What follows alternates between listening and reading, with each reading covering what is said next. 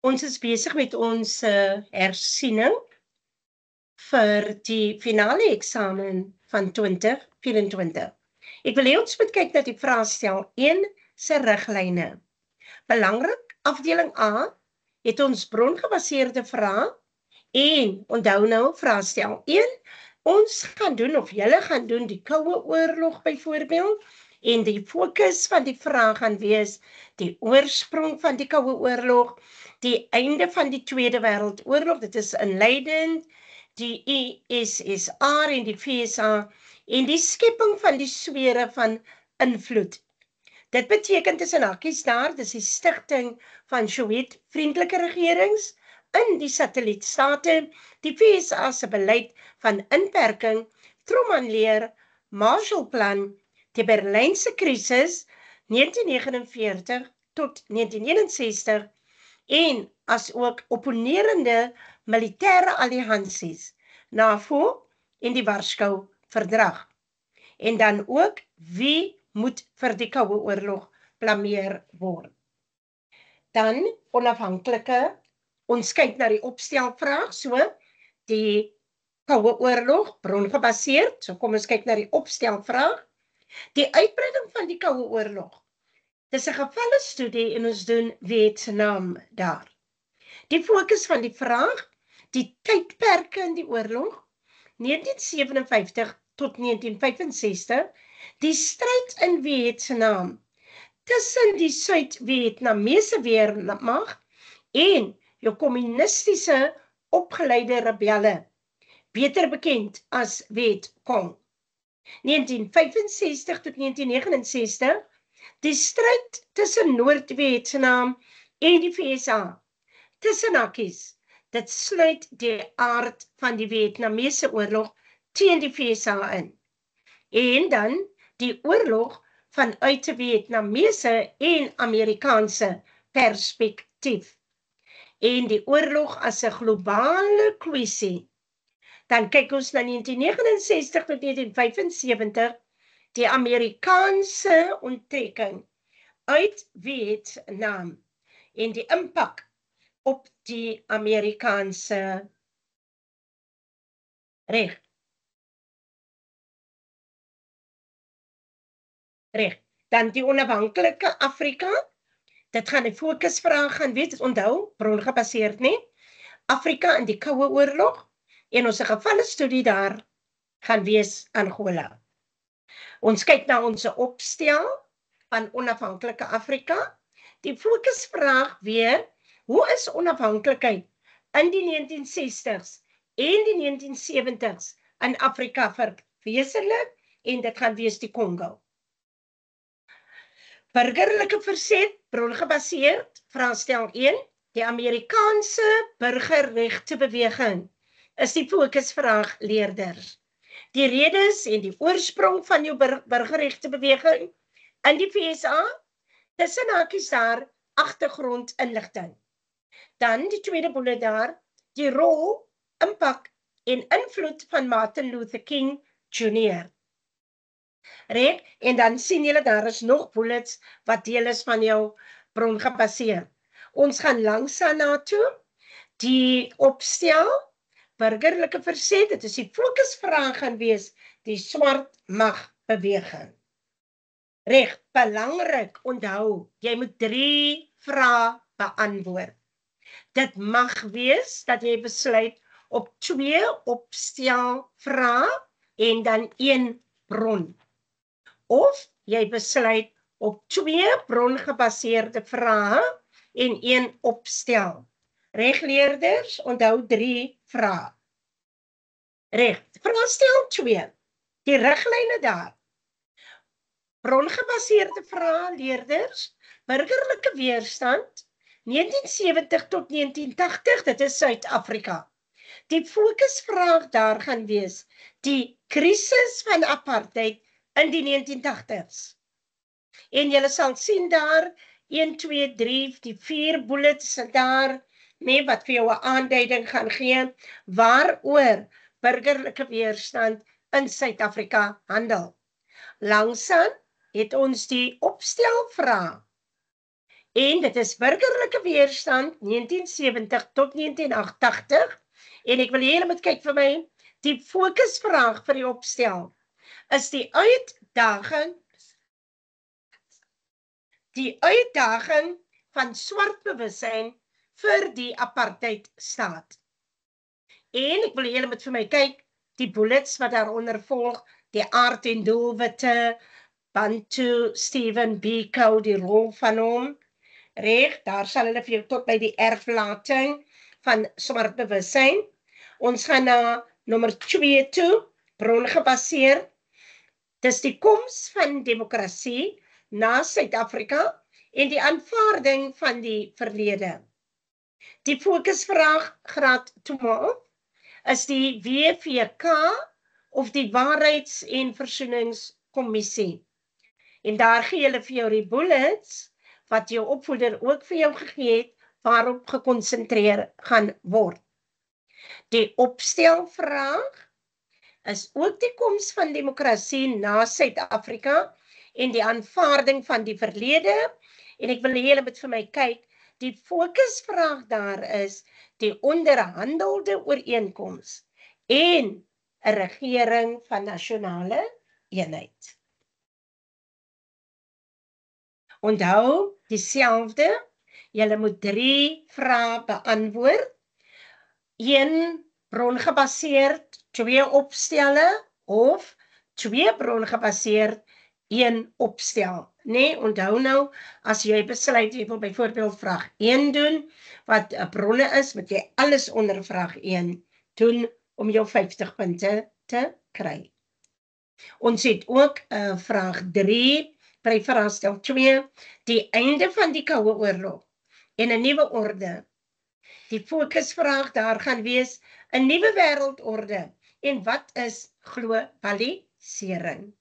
Die opstel is die einde van die koue oorlog, 'n nuwe wêreldorde en graad 12. Die fokusvraag gaan wees die impak van Gorbachev se hervormings op die Sowjetunie in Suid-Afrika.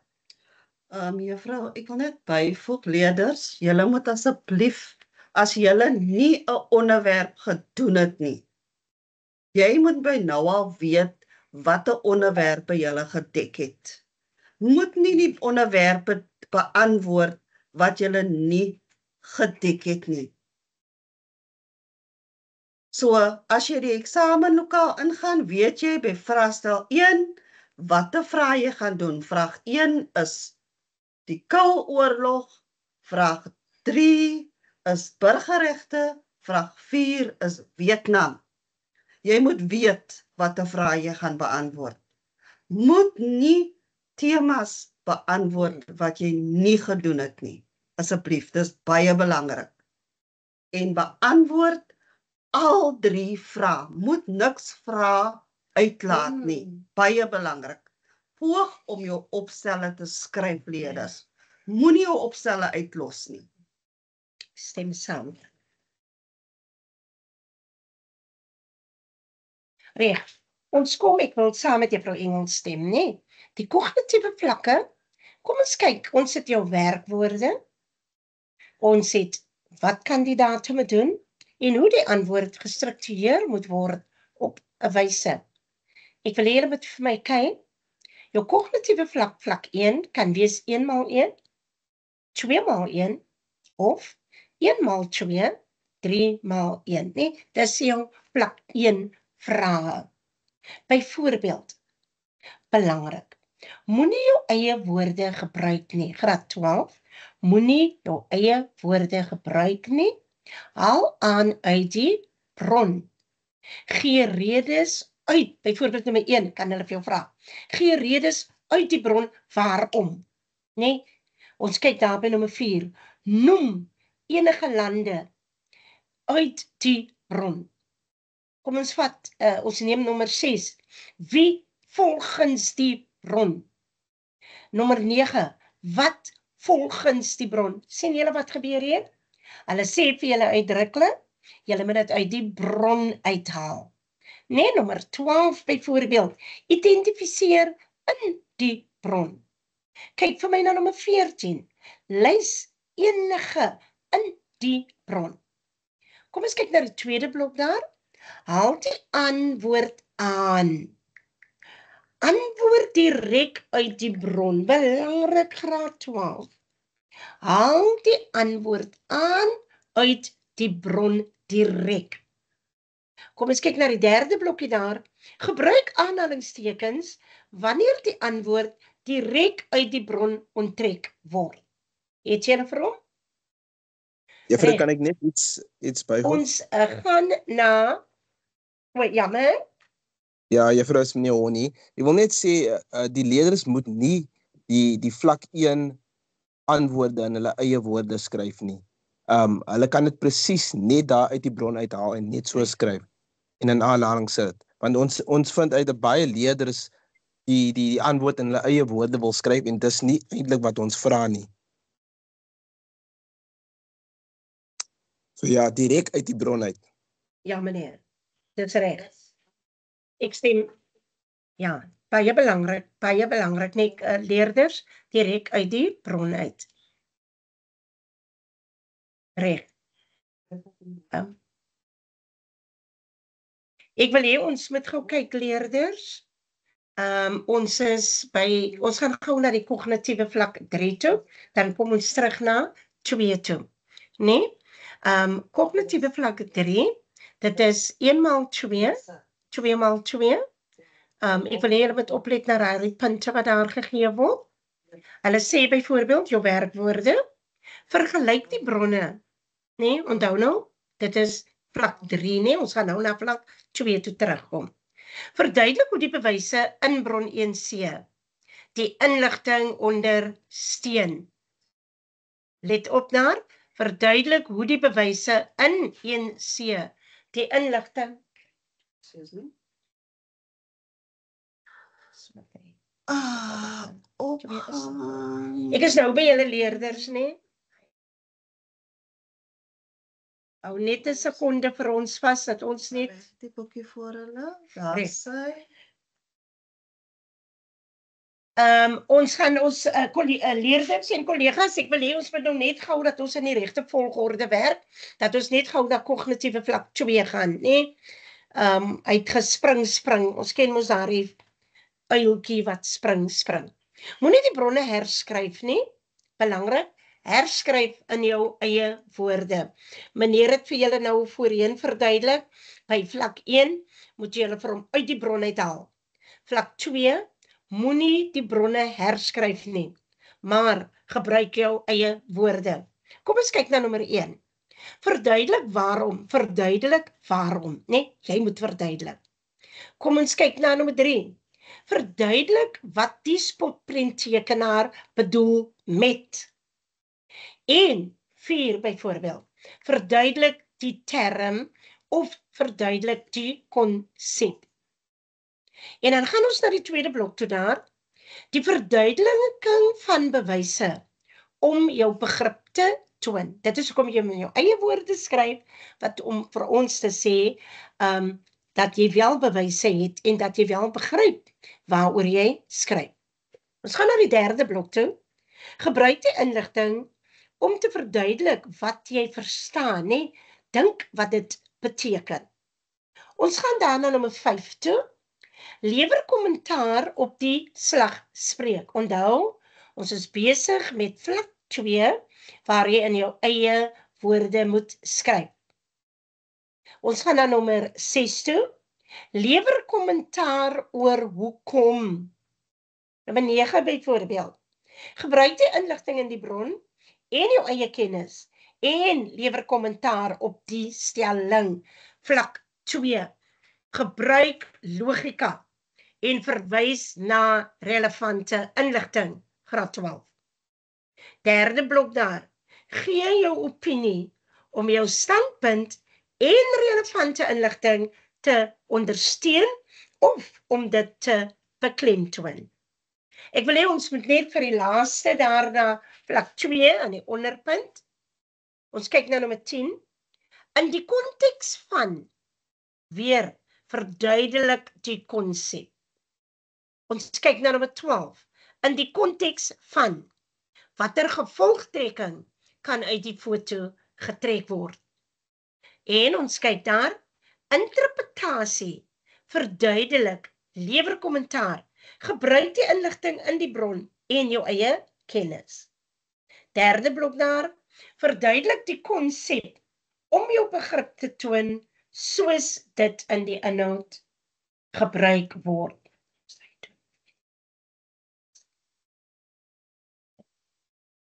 Nou kom ons by vlak 3. 1 maal 2.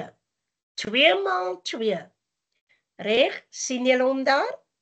So, kom ons kyk na jou werkwoorde. Ek het dit al reeds vir julle genoem, nê? Verduidelik hoe ondersteun die bewyse mekaar. En ek wil hê julle moet kyk vir my na langsaan.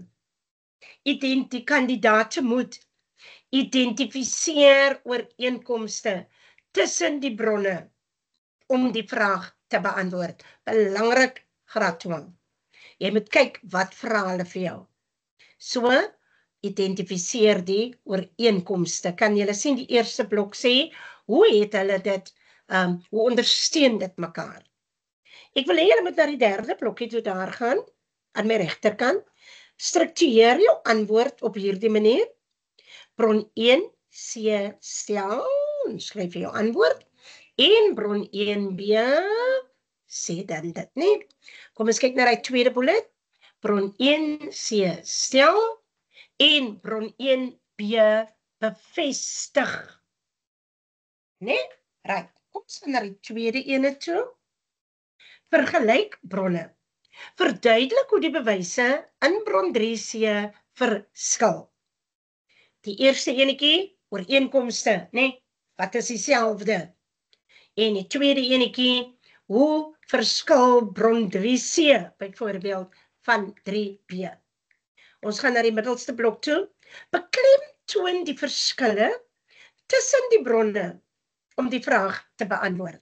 Byvoorbeeld, bron 3C noem terwyl bron 3B weet dit sê. Bron 3C stel terwyl bron B bevestig, né? Dis die verskille lewer kommentaar onderaan op die betroubaarheid, bruikbaarheid, vooroordeling, beperkings van die bron. Is nog altyd vlak 3.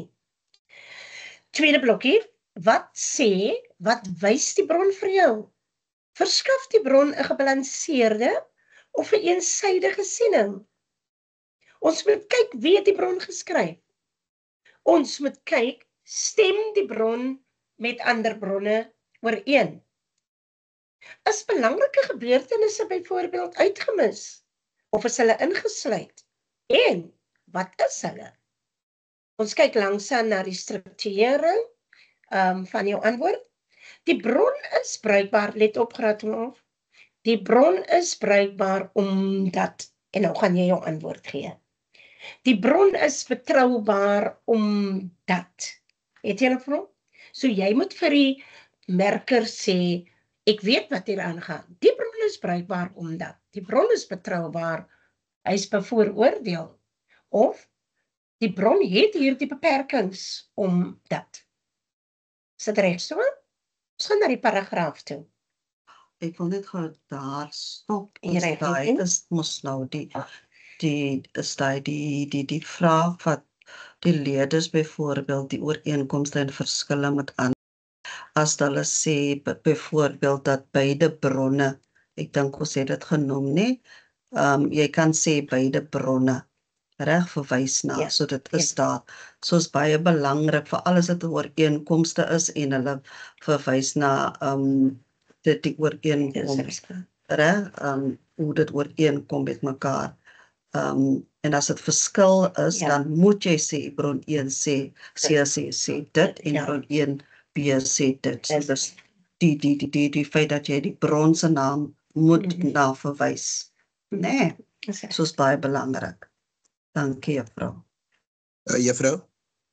Ja, um, net by bruikbaarheid, ons moet net seker maak dat die leerders weet dat 'n bron is altyd bruikbaar. Ons sal nooit 'n bron in die in die eksamen insit wat hulle nie kan gebruik nie. So as hulle die standpunt neem, uh die bron is bruikbaar mm -hmm. en dan moet hulle hulle redes gee. So dit is nie een uh vir die bruikbaarheid. En dan ook daar's altyd net absoluut korrek, meneer. Dis daar's reg. altyd net een van Reg. vrae wat inkom. Daar sal nie betroubaarheid en bruikbaarheid wees nie. Dit sal altyd net een van hierdie tipe vrae wees. OK, dankie. Goed so meneer Regsburg. Dankie meneer. Uh die leerders het kennis geneem wat meneer gesê het. Kom ons gaan na die paragraaf toe. Gebruik inligting in die relevante bronne en jou eie kennis en skryf 'n paragraaf van ongeveer 8 reëls. Ongeveer 80 woorde om te verduidelik. Ek wil hê jy moet kyk, dit tel 8 punte. En dan wil ek hê julle moet vir my langs aan na toe gaan baie baie belangrik. Skryf slegs een paragraaf. As jy twee paragrawe skryf, merk die merker slegs die eerste gedeelte.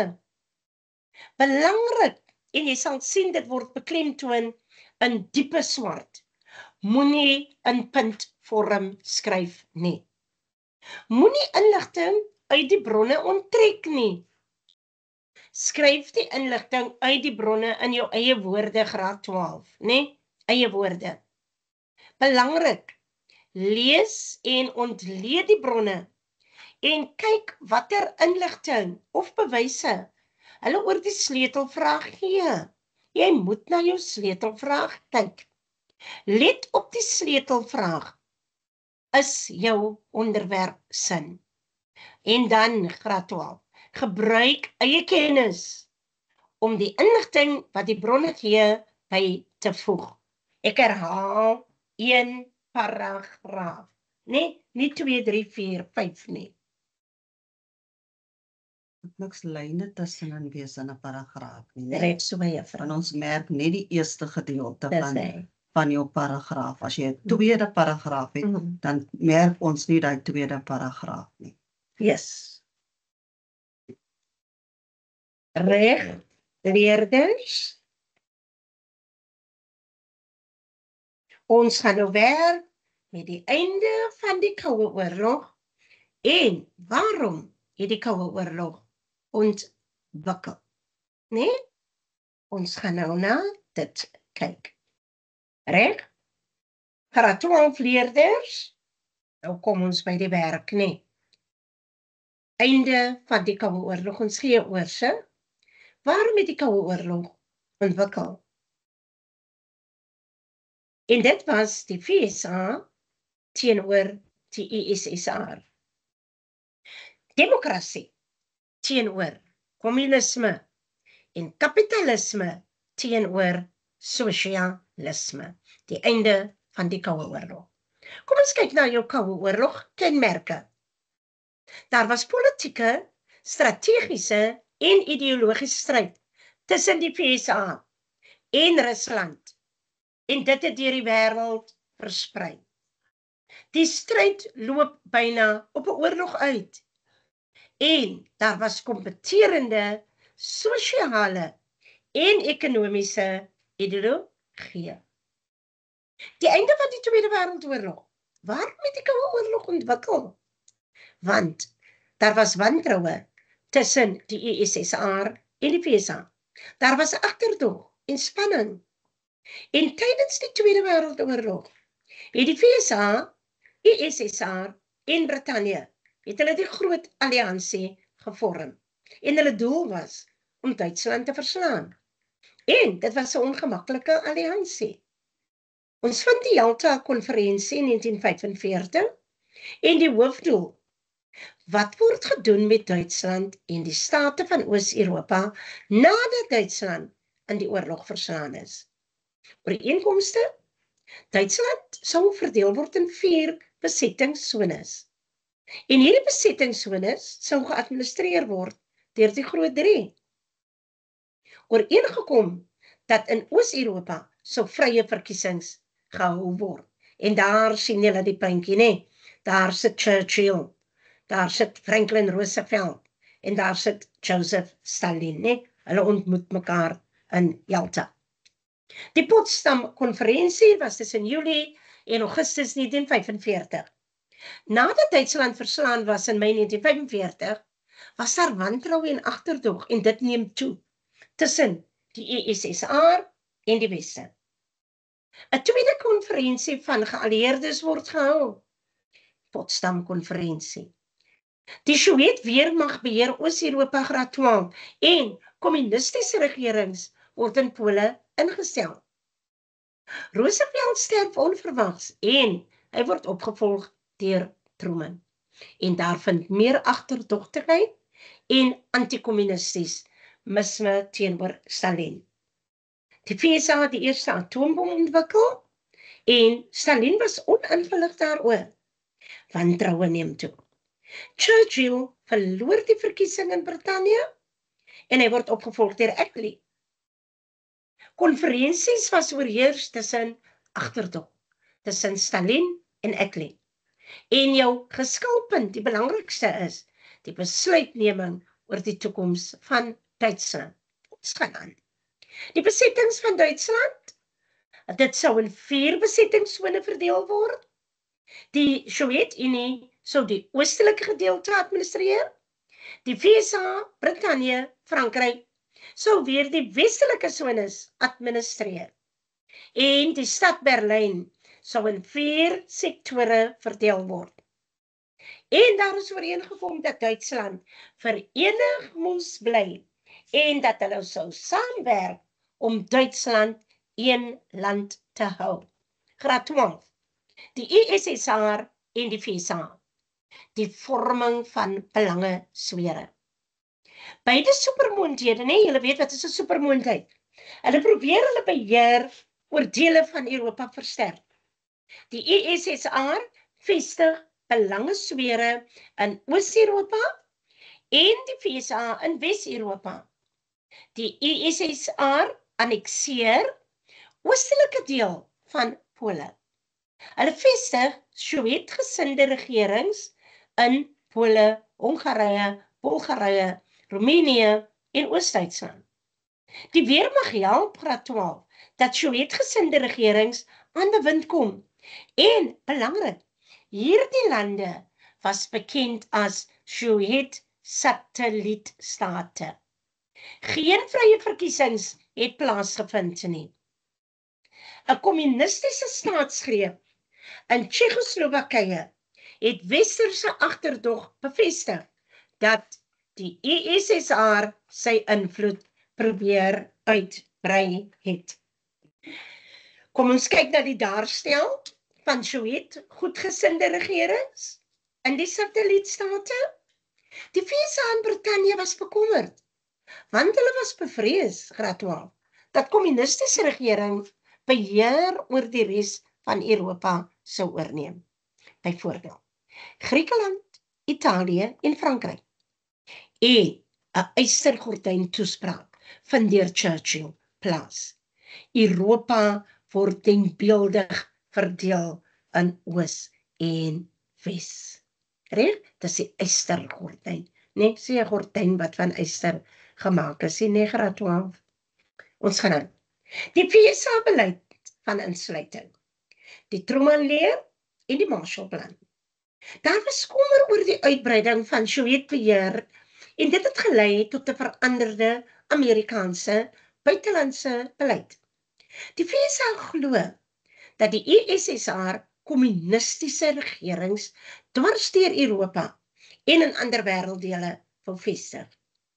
Die FSA begin weg te beweeg van sy tradisionele isolasiebeleid en hulle raak aktief betrokke by wêreldsake. En graad 12 belangrik, hulle volg 'n beleid van insluiting want hulle wou die verspreiding van kommunisme beperk. Ons kyk na die Truman-leer, die redes vir dit. Griekeland was 'n um, burgeroorlog tussen kommunistiese guerrillas en die regering het. Turkye soortgelyke situasies het hulle gesoek. Die FSA was vasoortuig dat die USSR die kommuniste ondersteun het. En president Truman besluit hy kondig die Truman-leer aan. Die FSA bied geld, militêre toerusting en raad aan vir lande wat bedreig word deur kommunisme. Die Truman-leer was die basis van die Amerikaanse beleid gedurende die Koue Oorlog. En die VSA het gehelp om kommunistiese guerrillas in Griekeland en Turkye te verslaan. Ons kyk na die Marshallplan geraadmaal. Dit was 'n beleid van beperking van kommunisme. En die VSA se minister van buitelandse sake was George Marshall. En hulle ontvang opdrag om die naoorlogse situasie in Europa te ondersoek. En hulle bevind 12 dat groot dele van Europa vernietig was. Menslike lyding het plaasgevind. Die FSA besluit toe om Europa ekonomies op te bou. En Truman het geglo dat welvarende ekonomieë sou help om die aantrekkingskrag van kommunisme te beperk. Tussen 1948 en 1952 word 17 miljard uh, dollar beskikbaar gestel. Die doel was gewees om die ekonomie van Europa te herstel en dit was suksesvol. Die Sowjetreaksie op die Marshallplan Stalin was agterdogtig teenoor die Marshallplan en hy sien dit as dollar diplomatie. Geen Sowjet satellietstaat graad 12 was toegelaat om gebruik te maak van die Marshallplan nie. En die Marshallplan het die verdeling tussen oostelike en westelike Europa verdiep. Kominform word gestig. Die doel was om die kommunistiese partye van Oos-Europa te koördineer. En graad 12, die leiers met onafhanklike denke was vervang met diegene wat lojaal aan Stalin was. Hy het 'n ferm houvas op Sowjet satellietstate gehad. En in 1949 was die Comcon gestig. Dit was Raad vir Wederwysige Ekonomiese Hulp. Ons kyk na die Berlynse krisis tussen 1940 en 1961. Daar was verskille oor die bestuur van Duitsland en dit veroorsaak die eerste krisis van die Koue Oorlog. Berlyn was die hoofstad van Duitsland en dit was in die Sowjetsone geleë. Binne die verskillende sones in Duitsland was verskillende politieke en ekonomiese stelsels. Jou Sowjetsone, daar was 'n kommunistiese diktatorskap Die nywerhede is genasionaliseer. Ekonomiese herstel graad 12 was stadig en hulle was verbied om Amerikaanse hulp te gebruik. Die USSR het Oos-Duitsland verplig om vergoeding te betaal. Die Reichsmark word as 'n geldeenheid gebruik. Ons kyk na die westerse sone. Daar was verskillende politieke partye wat gevorm was plaaslike demokratiese verkiesings was gehou. Daar was 'n vrye ondernemingsgees en dit was aangemoedig. Snelle ekonomiese herstel het gevolg danksy die Marshallplan en in 1948 het die westerse sones verenig en 'n nuwe geldeenheid word ingestel, die Duitse mark. Ons gaan dan 1948 en 1949 die Berlynse blokkade en die lugbrug gratuleer. Drie westerse sektore in Berlyn was 160 km vanaf die westerse sones in Duitsland. Die Duitse mark, onthou, die westerse geldeenheid, dit was die belangrikste geldeenheid in Berlyn. En onthou, die Reichsmark, dis Sowjet, het sy waarde verloor. Stalin glo dat die westerse magte 'n ekonomiese oorlog voer. Hy besluit graduaal om alle oppervlakroetes, byvoorbeeld pad, spoor, kanale tussen Berlyn en die westerse sones te sluit. Die Berlynse blokkade vind ons nou dat 2 miljoen burgers afhanklik van voorraad uit die westerse sones is. Die weste wou nie die USSR dwing om die blokkade op te hef nie. Hulle het gehoop dat hulle op so 'n manier 'n oorlog sou kon vermy. USSR sien die westerse besluit as 'n swakheid in leierskap. Die weste besluit op die instelling van die Berlynse lugbrug Nee, sien julle die fotootjie daar. Vir meer as 1 jaar is alle voorrade aan Wes-Berlyn per lig voorsien. Kos, brandstof, boumateriaal, mediese voorraad was afgelewer. En in 1949 het Stalin besluit hy gaan die blokkade ophef. Die Berlynse blokkade en die lugbrug graad 12 het die spanning tussen die supermoondhede verhoog. En Berlyn het 'n simbool van spanning in die koue oorlog geword. Daar wys hulle vir jou 'n lekker fotootjie net waar jy duidelik kan sien die lugbrug. Duitsland word in twee aparte state verdeel, 'n westerse en 'n Sowjet. Die westerse dit word verenig as die Duitse Federale Republiek of Wes-Duitsland. Die hoofstad was Bonn en die leier was Konrad Adenauer. Die Sowjetsone was bekend as die Duitse Demokratiese Republiek of Oos-Duitsland. Die hoofstad was Oos-Berlyn en die leier was Walter Ulbricht.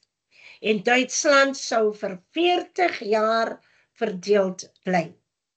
Ons kry in 1953 opstand in Oos-Berlyn. Die werkers graad 12, hulle kom in opstand in Oos-Berlyn. Uh dit versprei na die res van Oos-Duitsland en die werkers eis die volgende: 'n einde aan kommunisme, onttrekking van Sowjetmagte. Die opstand graad 12 word met geweld onderdruk en meer as 600 Oos-Duitsers word tereggestel. 300 000 Oos-Duitsers, hulle vlug na die weste en die Oos-Duitse regering het enkele hervormings ingestel.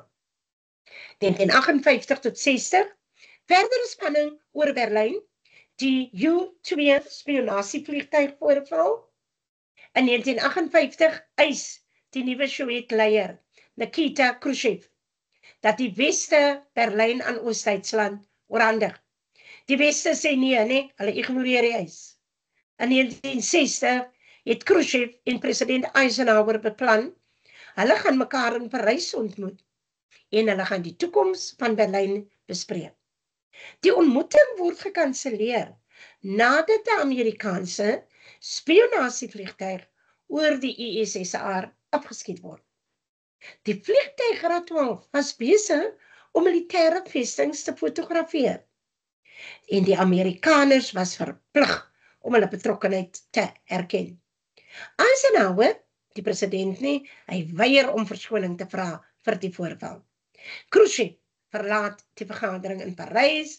Eisenhower was gekritiseer vir sy onversieklike verhouding. Die voorval 12 het die spanning tussen die USSR en die VSA laat toeneem. Ons kyk na 1961, die bou van die Berlynse muur.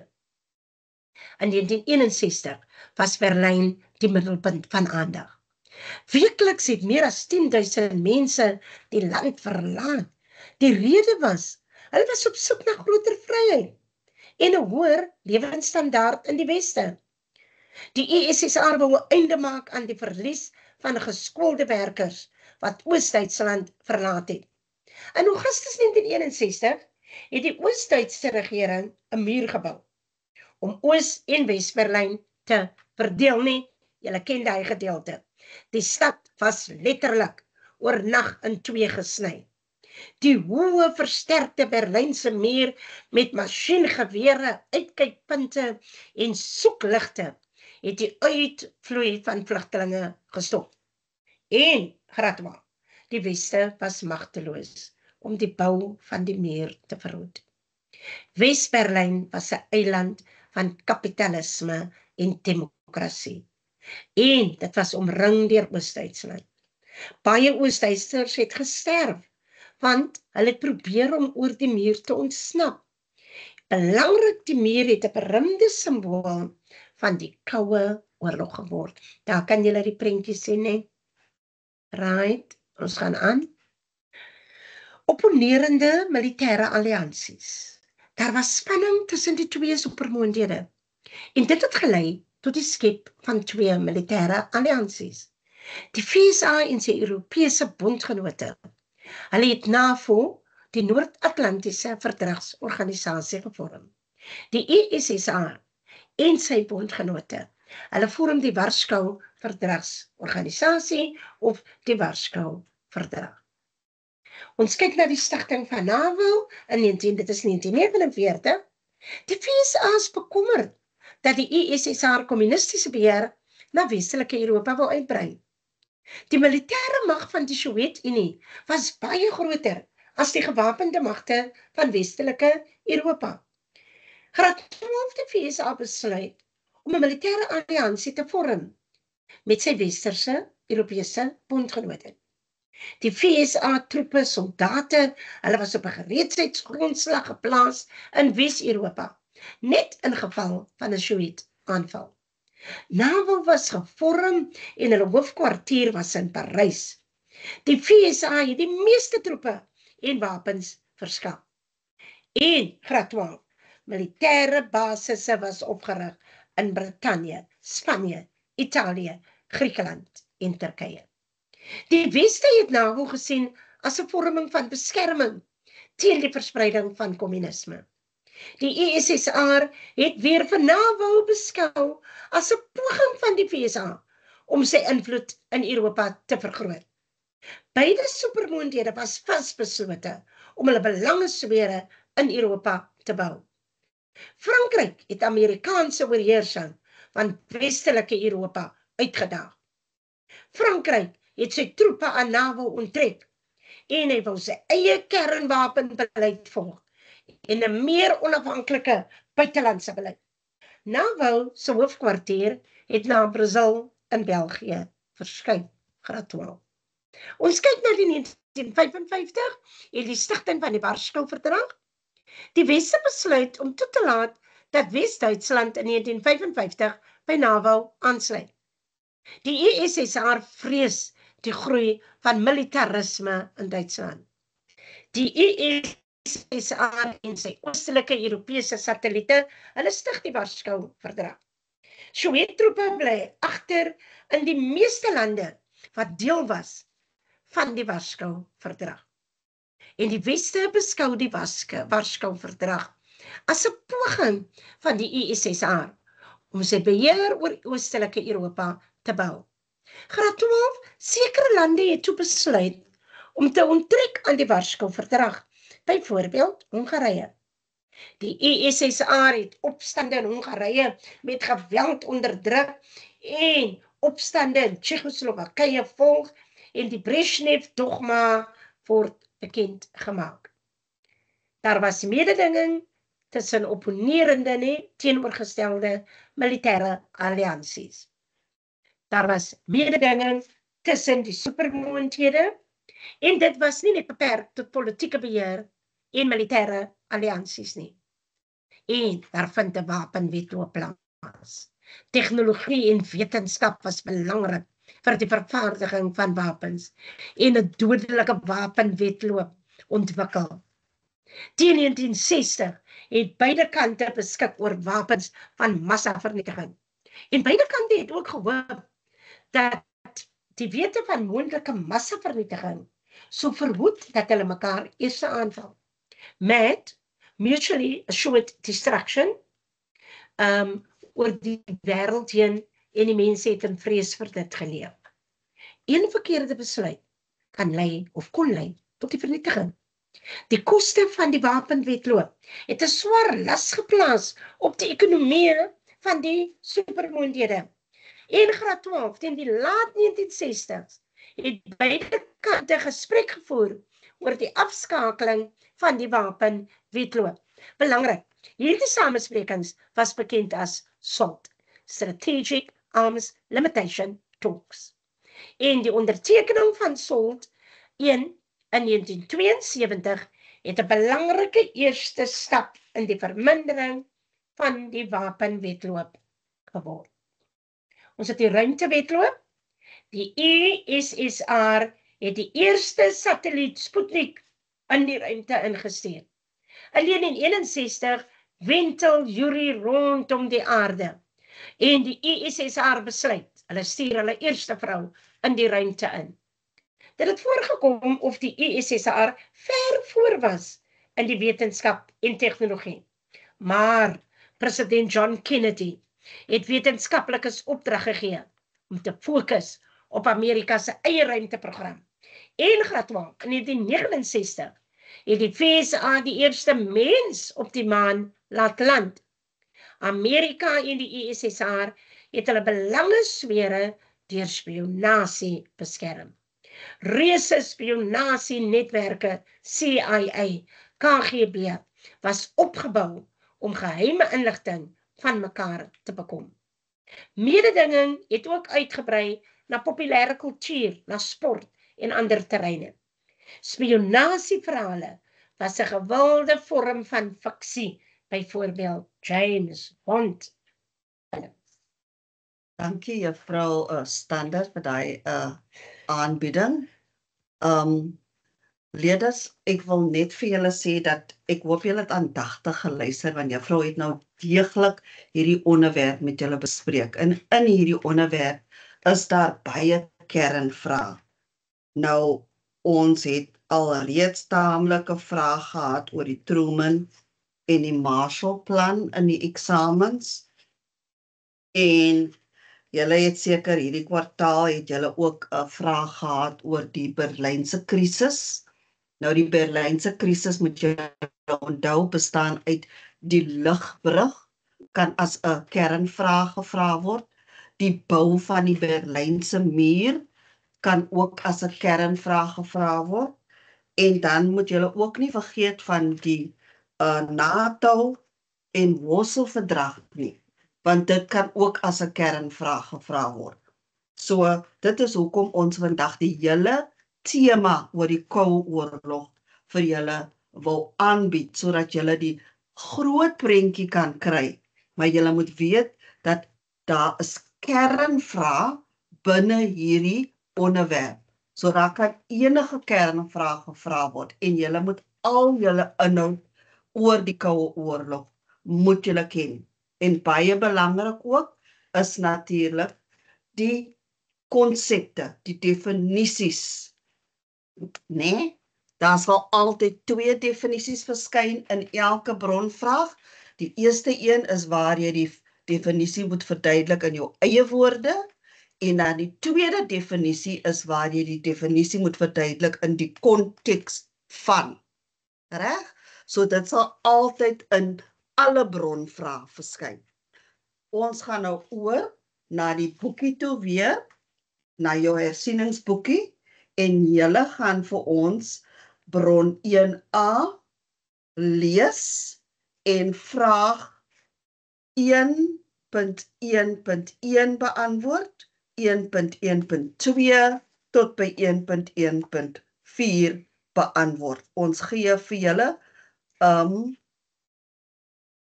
5 minute. Ja. Kom ons gee vir hulle 5 minute juffrou. 5 minute dit is dit is nou 5 voor 1. So by 1 uur dan kan julle julle antwoorde in die chat groep sit. Né? Nee? So 5 minute. So ons gee vir julle 5 minute en sit julle antwoorde in die chat groep kan die leerders ook net hulle die naam van die skool wat hulle verteenwoordig ook intik in die chat asseblief. Reguleerders, ek wil hê julle moet vir my kyk. Vraagstel 1, vraag 1. Hoe het die Berlynse blokkade koue oorlogspanning verskerp tussen die Verenigde State van Amerika en die Sowjetunie in die laat 1940s? Dit noem ons jou sleutelvraag. Ek gaan die vraag vir hulle lees juffrou Engel, is dit reg? Verstaan kan jy my hoor? Ja, juffrou, ek kan vir u duidelik hoor. Verstaan? Ja, juffrou Engel. Kan u my hoor? Ons ons kan vir u duidelik hoor, juffrou Um, ons kan seker ons kan maar begin met die antwoorde. Ek kan maar begin met die antwoorde om met die kinders laat ek kan laat ons kan sien wat is die leerders se antwoorde? Okay, kom ons kyk na vraag nommer 1. Kan u dit vir ons hanteer? Vraag nommer 1, 1.1.1. Die vraag is definieer die konsep Koue Oorlog in jou eie woorde. So hulle vra vir een definisie en hulle vra dit in jou eie woorde en dan is dit 1 maal 2 vir 2 punte. As kyk na die verskillende antwoorde wat julle in die chat ehm um, getik het. So ons kyk na die eerste een. Dit deur Bishop Lywes, dit is 'n on dit was 'n ongewapende oorlog. Dit het gegaan oor die ekonomiese mag, geld en grond besit. Dan, daar's ook 'n antwoord deur Alvina van Wyk. Dit is konflik tussen die FSA en die USSR met geen werklike fisiese aanvalle. Nou as ons kyk na daai twee antwoorde en ons kyk na die memo, en wat sê die memo? Die memo sê dit is politieke spanning tussen twee lande. So as jy ge ehm um, jou antwoord politieke spanning het, enige spanning sonder geweld, dan, dan is dit die regte antwoord. So 'n politieke spanning en dan ook 'n tweede punt lande wat meeding in 'n nie konfronterende oorlog. So die Koue Oorlog was 'n oorlog sonder geweld. OK, dan gaan ons aan na vraag nommer 2. En die vraag is hoekom is die Reichsmark volgens die bron vervang deur die Duitse mark in 1948? Nou by hierdie vraag moes jy die antwoord uit die bron uit gehaal het want die antwoord is binne in die bron. En die antwoorde wat ons hier het is in kwotasie gesit. Die Duitse mark is in al die westerse sone ingestel en het die Rykmark wat al sy waarde verloor het vervang. Dan het ons ook as ons bietjie afgaan, kyk ons na Bishop Blywes Hoërskool weer die Reichsmark het al sy waarde verloor. So daai antwoord was binne in die bron. So 1.1.1 en 1.1.2 se antwoorde was binne in die bron. Leerders, jy sal altyd sien dat by die bron vra sal die eerste paar vrae altyd vlak 1 wees en dan volg dit met 'n vlak 2 vraag. So as ons kyk na 1.1.1 3. So die vraag van 1.1.3 is verduidelik die implikasie van die stelling die USSR het gehoop om Berlin te verenig te hou in die hart van die Sowjetsone met betrekking tot sy verdeling in 4 sones. Nou die wenk is die lede moet hierdie stelling in die bron vind en dit lees. Dan moet die leerder hierdie stelling interpreteer binne die konteks konteks van die verdeling van Berlin. So dit is baie belangrik by 1.1.3 dat jy die die vraag of die antwoord in jou eie woorde skryf. So jy kan nie direk van die van die bron quoteer nie. Jy moet dit in jou eie woorde skryf. So die antwoorde wat ons hier het is as ons kyk na Renay Visagie 1.1.3 se antwoord is Stalin het gehoop dat wanneer hy die blokkade opstel in die westerse sone dat hy vereniging en kommunisme bevorder as ook die beperking van die Marshall en Truman plan. Dan ook 'n ander antwoord. Ons kyk gou deur die chat. Maar nog een vir 1.1.3 is. OK, ons gaan na die memo toe. So die memo sê Stalin wou hê dat die hele Berlin vir vir homself meer moes onttrek vir die skade wat aan die USSR aangerig is. En dan die tweede punt is Stalin het gedink dat die FSA en sy bondgenote sou laat vaar. Dan is daar ook 'n derdelike moontlike op uh, antwoord. Die westerse sektore nou dat hulle nie toegang daartoe het nie. OK, so hierdie vraag het gevra vir een antwoord. So enige een van daai drie, ek sal dit weer lees. Die antwoorde is: die eerste punt, Stalin wou hê dat die hele Berlin vir homself meer moes onttrek vir die skade wat aan die USSR aangerig is en Stalin het gedink dat die FSA en sy bondgenote sou laat vaar die westerse sektore nou dat hulle nie toegang daartoe het nie. Nou ek sien ook hier in die chat was 'n bietjie moeiliker. Dis hoekom daar net een antwoord was in die chat. OK. So kan ons beweeg na 1.1.4. So 1.1.4 se vraag is: Hoe volgens die bron, so hierdie antwoord is binne in die bron, het die implementering van 'n totale blokkade van die westerse sektore op 24 Junie 1948 belin geraak. Gee twee antwoorde. So dit is 2 maal 1. So hulle was veronderstel om twee antwoorde te gee. So die eerste antwoord is ons kyk ook hier by Renay Bisaghi toegang tot Berlin se per pad spoor en water was moontlik dan ook Onmoontlik. kosvoorrade en elektrisiteit is aan afgesny. So dit is die regte antwoord. Dit is dieselfde antwoord in die memo. Die antwoord in die memo: toegang tot Berlin per pad, spoor en water onmoontlik gemaak tot 12 Mei 1949 en die tweede punt afsny voedselvoorrade of kosvoorrade en elektrisiteit. OK. Juffrou Engel is is u nog daar? Ja, ek is hier baie dankie vir daai Mr Mr Hon. Um kollegas, ons wil net dit streng beklemtoon dat elke um leier, elke brongebaseerde vraag soos Mr Hon nog uh vir julle gewys het, is gaan altyd begin met 'n kognitiewe vlak 1 vraag dan sal uh die eerste twee byvoorbeeld kognitiewe vlak 1 is en dan 'n kognitiewe vlak 2. Né? Nee? Nou ons ons tyd is baie beperk want ek wil nog 'n hoofstuk met julle doen. So ek vra dat die opvoeders die res van die vrae met die leerders sal deurwerk vir al die vrae wat gaan oor kommentaar, lewer kommentaar. Vraag 1.2.3 is baie belangrik hoe hulle hierdie vraag moet beantwoord. En dan ook natuurlik die vraag waar leerders moet um uh vraag 1.4 bestudeer die bron 1C en verduidelik hoe die inligting in die bron en die bewyse in die bron aangaande die koue oorlogspanning in die weste ondersteun. So dit is belangrik dat ons moet fokus op kognitiewe vlak 2 en hierdie kognitiewe vlak 3 vra.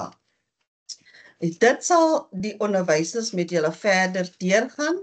Ons gaan nou voort na ons volgende onderwerp en dit is die opstel oor Vietnam. En ehm um, Juffrou Stander sal dit vir julle verduidelik. Weereens gaan ons eers kyk na die belangrike inhoud en daarna gaan ons kyk wat staan in die boek in jou hersieningsboek hoe jy hierdie vrae moet benader. So as daar geen ander vrae is oor die Koue Oorlog nie, het enige 'n uh, leerling miskien 'n vraag oor die Koue Oorlog wat hy wil vra wat onduidelik is, kan jy dit maar net in die chatgroep sit en dan sal Mr Hon later aan dit vir ons um net um adresseer. So ek gaan nou die volgende aanbieding net uithaal en dit ons gaan nou kyk na die Vietnam aanbieding.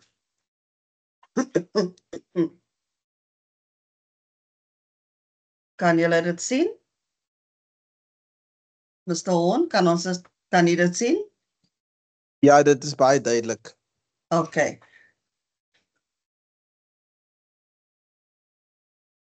Regraad 12 leerders, ons is by 'n gevalstudie.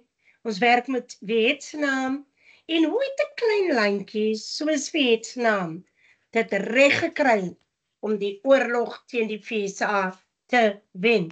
En dit is 'n opstelvraag. Graad 12.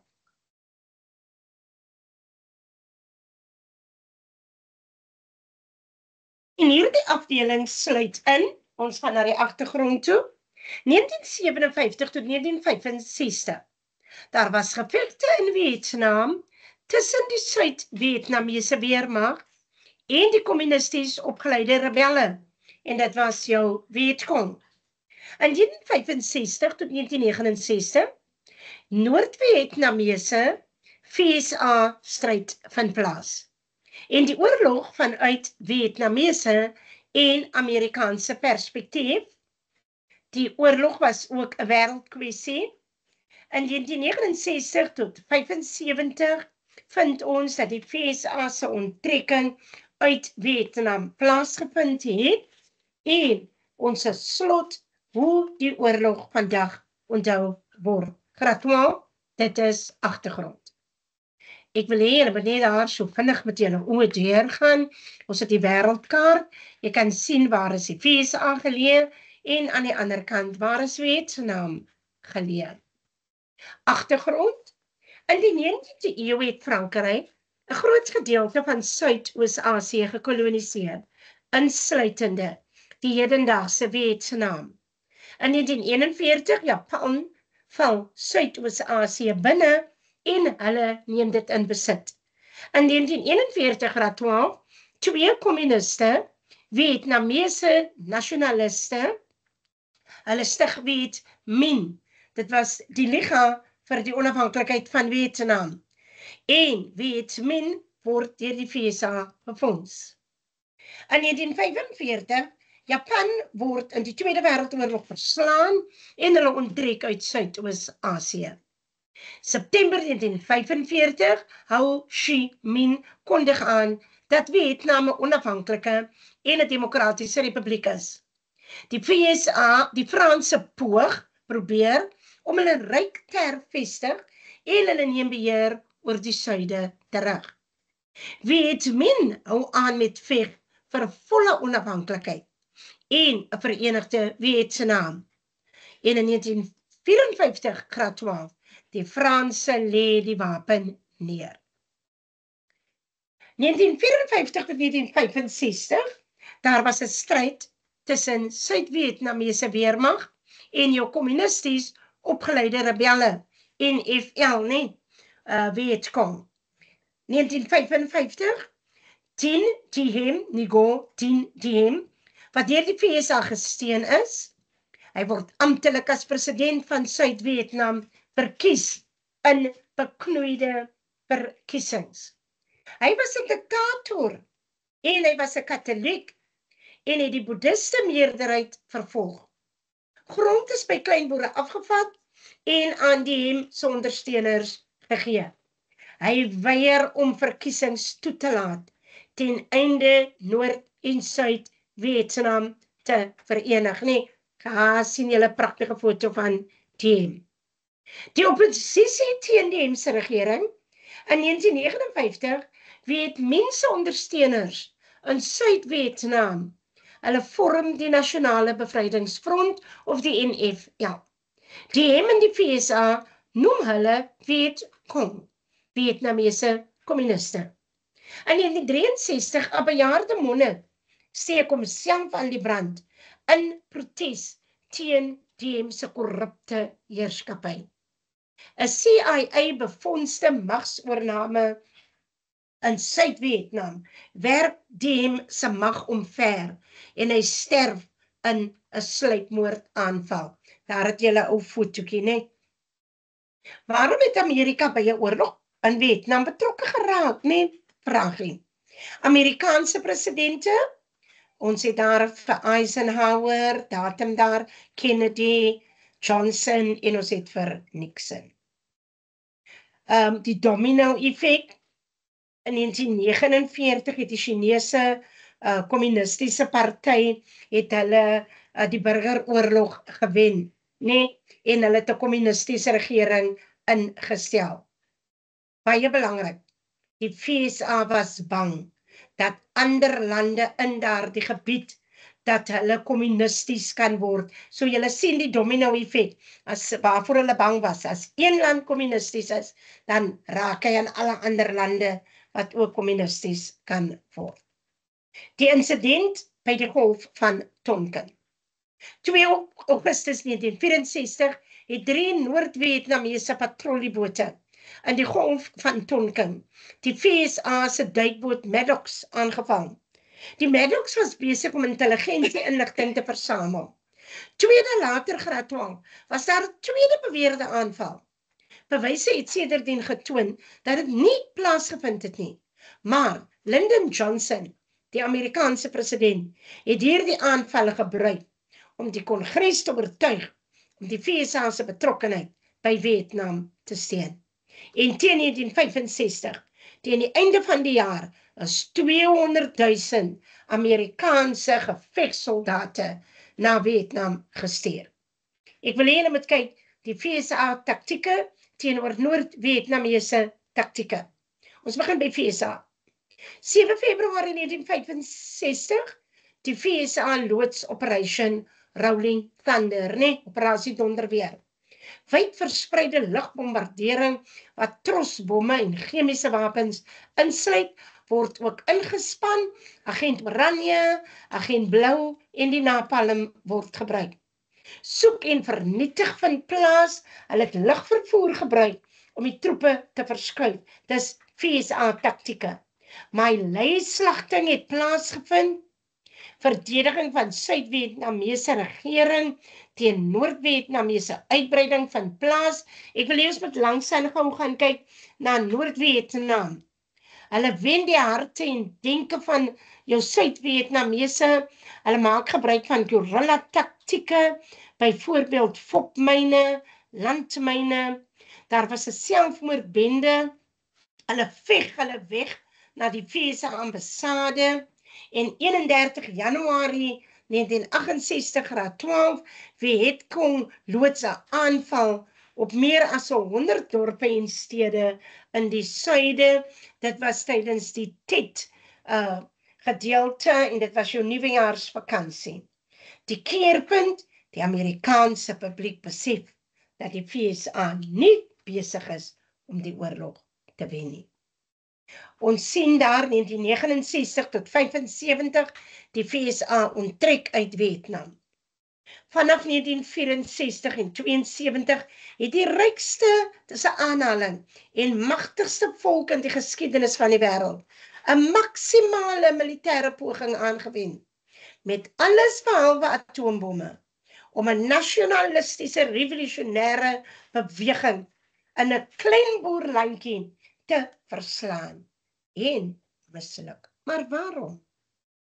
Net daar wys hulle vir julle 'n spotprentjie. Um almal Amerika se um aanvalletjies en hoe die mense seer gekry het, ontvind ontbossing veroorsaak deur die FSA.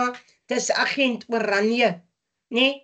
Die Vietnamese Rooi Kruis beraam dat tot 3 miljoen Vietnamese gesondheidskwale ontwikkel het as gevolg van blootstelling aan dioxin. En van hulle se 150 000 kinders met liggaamsgebreke wat geboorte by geboorte dit opgedoen het. Daar sien julle gaan agent Oranje. O, oh, dis een van die hartseerste fotos, nê? Dit is wat die napalmbom gedoen het. Klere het vasgebrand aan die kinders, nê? baie hartseer fotootjie. Ehm um, ons het die Mylay 'n slagting en daar kan jy sien nie hoe lê die vrouens en die kinders en wat die Amerikaanse soldate aan hulle gedoen het by Mylay op 16 Maart 1968. Opgekommandeerde soldate, hulle staan bekend as sheriffs. Ongeveer 2/3 van die 3 miljoen Amerikaners wat by die Vietnamoorlog betrokke was, was opgekommandeerde soldate of sheriffs. Hulle gemiddelde ouderdom in graad 12 was 19 jaar. Dink as julle ouderdom net. Hulle moes 'n 12 maande diensplig doen en daar was 'n veldtog teen verpligte diensplig in die FSA konskripsie. Daar sien julle daar uh, 'n uh, student, hy brand sy kaartjie gedurende die teen oorlog demonstrasies, nê? Nee, 200 000 van hierdie jong manne het hulle kaartjies opgebrand, nê, nee, net geweier, nê. Nee. Ons gaan aan. Kyk hoe ernstig is hy ouetjie daar, nê, hy wil nie. En hier is die mense besig om te proteseer. Hulle sê uh byvoorbeeld um die derde enetjie daar uh, stop die bomaanvalle. Um geen brande moet plaasvind nie. Reg Amerika hier aan die regterkant. Amerika maak gebruik van massamoordaanvalle in Vietnam. Kyk, hy klomp mense nie wat ontstel is oor die aanvalle. En dan het ons ons kind massakre of slagting, reg?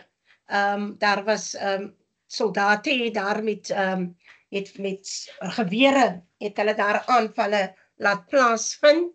En kom ons kyk net hier, hulle het op studente wat geprotesteer het in Ohio, het hulle geskiet. En kyk net daar, hy my sê daar net die een student wat onthou studente nê, en die enetjie wat daar dood lê nê. Hulle sê dit is die kind massakre of slagting. Graad ons gaan aan.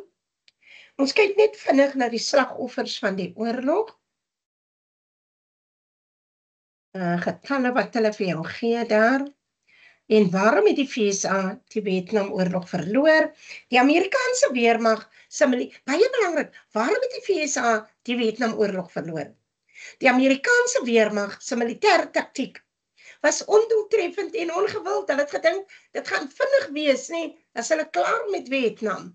Intensifiering van die teenoorlogse bewegings in die VSA vind plaas.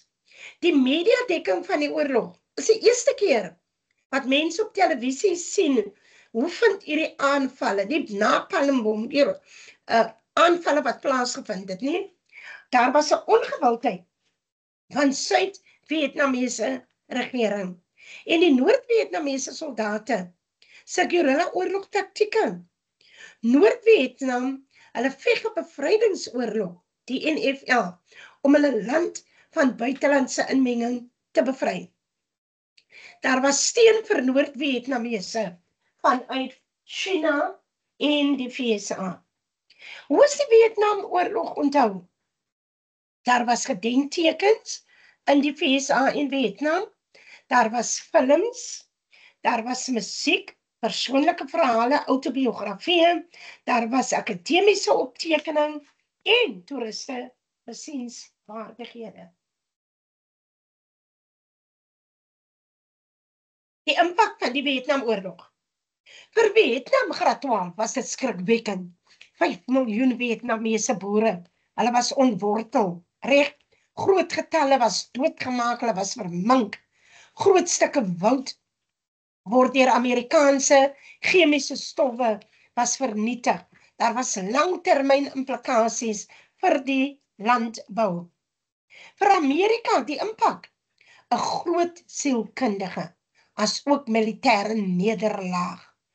Dat dit waarskynlik die domino effek verhaas. Naamlik talle ander lande in Asië het rooi geword, nê, nee, kommunisties geword. 'n Propaganda ramp. Die FSA se troepe, soldate is betrokke by menseregte skendings, by menseslagtings en die gebruik van chemiese wapens. So dit is kortliks ehm um, net 'n oorsig oor die opstel leerders ek wil hê julle moet nou gaan na julle ersieningsboekie toe en dan gaan ons kyk na die opstel en dis belangrik dat jy moet onthou dat die opstel kan op drie maniere gevra word, né? En ek hoop dat die opvoeders dat die onderwysers vir julle blootgestel het aan verskillende maniere hoe hierdie vraag gevra kan word. Reg, die uitbreiding van die Koue Oorlog, is dit 'n gevalle studie en dit gaan wees Vietnam.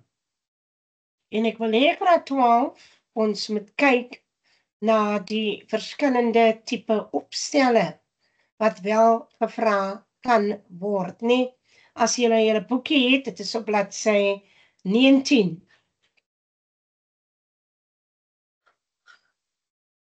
Right.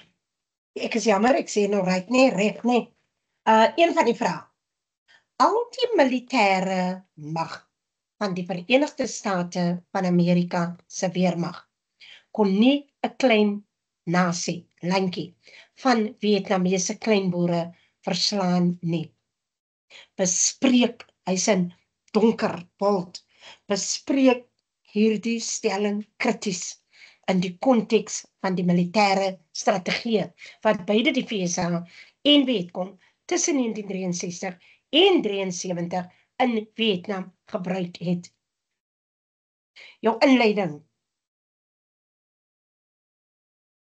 Reg, jy gaan net inderdaad En die inleiding. Leerders, ek wil hê julle moet vir my in die chatgroep moet julle vir my kortliks 'n inleiding skryf vir hierdie vraag. Nou as jy kyk na die inleiding van wat daar voor jou is, dit is die inleiding van die tweede vraag, né? Nee? Um waar jy moet saamstem of um reg so daai is daai inleiding. So dit gee vir jou 'n idee van van min of meer hoe jy jou inleiding moet skryf. Maar in hierdie geval is dit 'n bespreek. Jy bespreek krities, né, nee, hierdie stelling. So hoe gaan jy hierdie inleiding skryf? Ek wil net 'n inleiding hê. Kortliks kan jy sien daar vier reëls. Hoe gaan jy hierdie inleiding skryf van hierdie vraag as hulle vir jou vra, bespreek die stelling krities. In die chatgroep sit gou vir ons kortliks hoe sal jou inleiding lyk. Um Mr. Hoen, is daar enige uh, response in die chatgroep? Nog geen antwoorde nie. Nog geen antwoorde nie. Kom ons help gou vir hulle juffrou. Kom ons help gou vir hulle. Ja. As jy kyk na die inleiding wat daar vir jou gegee is, nê? Dit sê inderdaad, jy moet onmiddellik opgetel het. Dis eintlik 'n mooi inleiding. As jy so 'n vraag kry oor jy moet die stelling krities bespreek, dan kan jy sê inderdaad. Nê? Kan jy sê al die militêre mag van die Verenigde State se weermag kon nie die Vietnamese kleinboere verslaan nie. Amerika het gebruik gemaak van konvensionele strategieë en dit het nie daarin geslaag om die oorlog teen die Vietcong se guerrilla strategie te wen nie. Hierdie opstel sal ons krities kyk na die strategieë van die veiligheidsdorpe, operasie Rolling Thunder, guerrilla oorlogvoering, die Titofens en dan kan hulle ook noem die Mailing Massacre en dan ook Vietnamese Vietnamisering. Dan met Vietnamisering eindig hulle mos nou die oorlog af. Dis reg. So jy moet voorbeelde gee. Met ander woorde, in jou inleiding moet jy die bewyse gee wat jy gaan bespreek. So jy sê in jou eerste sin inderdaad of as jy 'n stem jy saam vraag het, moet jy sê ek stem saam met ander woorde jy neem standpunt in, reg? En as dit 'n verduidelik tot watter mate is, dan sê jy uh tot 'n groot mate of tot 'n mindere mate stem ek saam. Daai is die standpunt wat jy inneem. En dan sê jy ook dat Amerika se strategie reg het nie daarin geslaag ja. om teen die Vietcong se guerrilla strategie te wen nie. Ja. In hierdie opstel gaan ek verwys na die verskillende strategieë ja. en dan noem jy die strategie. En daai is 'n perfekte inleiding en daar gaan jy 'n volle 'n 'n 'n regmerkie kry. Ja. Want jy gaan noem Dit is die Gulf of Tonkin insident. Jy gaan noem dit is die Operation Rolling Thunder. Ja. Jy gaan noem dit is die guerrilla taktieke. Ja. Die Tit Offense, mm. die Mailing Massacre, die Vietnamisering. Jy gaan al daai opskrifies mm. waaroor jy gaan skryf in paragrawe in jou paragraaf noem. Reg. En dan sodra jy begin met jou paragraaf 1, jou agtergrond paragraaf is baie belangrik. dit is nou net om konteks te skep hoekom die FSA betrokke geraak het in die oorlog. Dis En dit is om te verhoed Mm, dat kommunisme versprei. dis reg. Jy kan of verwys na die um domino effek. Yes. Kortliks twee sinne. Dit is jou agtergrond paragraaf en dan begin jy met die Gulf of Tonkin insident, Dis dit. die operation, dan skryf jy Mm. wat wat wat het gebeur? Mm, Onthou weer eens die wees, wat het gebeur? Mm. Wanneer het dit gebeur? Mm. Waarom het dit gebeur? reg. ja. Reg? En wat was die uiteinde daarvan? Right? So hoekom het dit gebeur? En en en waarom het dit gebeur? Wat het gebeur? Ja. Right? Daai wees moet jy ten alle tye in elke paragraaf oefen. So die Gulf of Tonkin insident het gebeur. Wat was dit? Reg? Wat was die result, uh, uh, wat was die uitslag van daai van daai Gulf of Tonkin, insident? ja. Meer troepe is gestuur, né? Nee? Mm. En so gaan jy elke opskrif, Mm. Paragraaf. elke paragraaf Ja. gaan jy dus nou so daarna kyk. Mm. Die die die wees, kyk na Ja. wie, wat, waarom, wanneer en Mm. hoekom. Dis reg. Reg, daai moet al alles in jou paragrawe uh uh, uh teekom. As jy dit kan regkry, dan het jy jou lyn van argument alreeds gevorm. Uh, Juffrou Engel, ons het uh twee in uh inleidings. Yes. Een van Bishop Lywers. Okay. Bishop Lywers sê in hierdie opstel gaan daar 'n kritiese bespreking plaasvind met betrekking tot die militêre mag van die FSA se weermag wat nie 'n klein nasie van die Vietnamese kleinboere kon verslaan nie. So dit is Bishop Lywers se antwoord. Ja, dit is 'n baie goeie inleiding, maar weer eens wil ek beklemtoon, jy moet voorbeelde noem, reg? So jy moet jou voorbeelde noem, waaroor gaan jy skryf?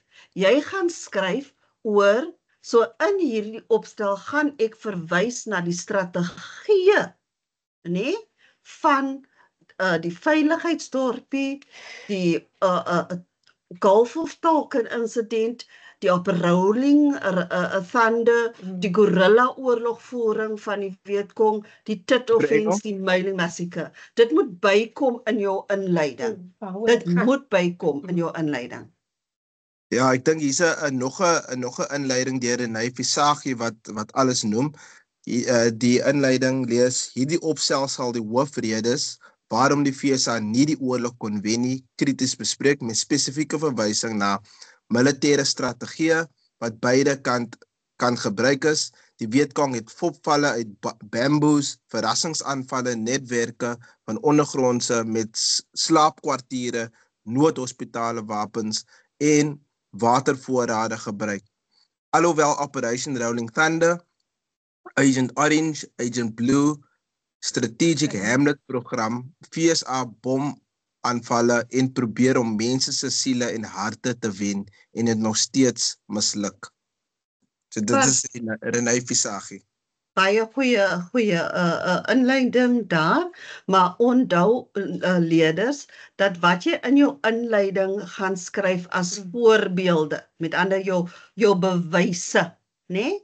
moet natuurlik ook in in in regte volgorde wees. So Mm. jy gaan eers natuurlik begin Mm, met um Operation Ja. Ranch Hand, Operation uh die Dalkin insident, die um Operation Rolling Thunder, chemiese aanvalle en dan gaan jy natuurlik na die Mailing Massacre toe, die guerrilla oorlogvoering, dan ook na die die die Ho Chi Minh roete en dan die uh die pit offenses ook uh, wat wat daar moet inkom. Mm, en dan sluit jy natuurlik af met Vietnamisering waar die FSA nou natuurlik onttrek. So jy kan al daai hoofopskrifies in jou uitling in jou inleiding sit. Mm, en as jy dit in jou inleiding het, outomaties sal jy weet presies hoe Mm. jy jou paragrawe moet uh, uh, dan benader.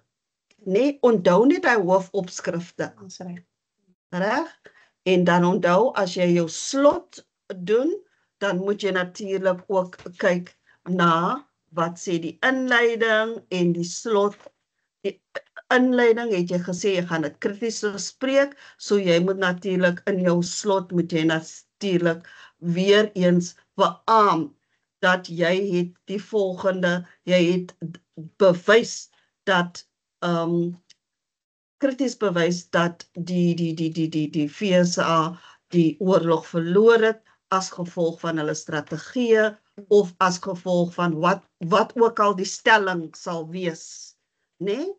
ehm um, dit kan wees oor as gevolg van die media het die FSA die oorlog verloor media het 'n groot rol gespeel ook in die in die in die feit dat die FSA die oorlog verloor het. So daar is verskillende uh maniere hoe hierdie vraag uh gevra kan word.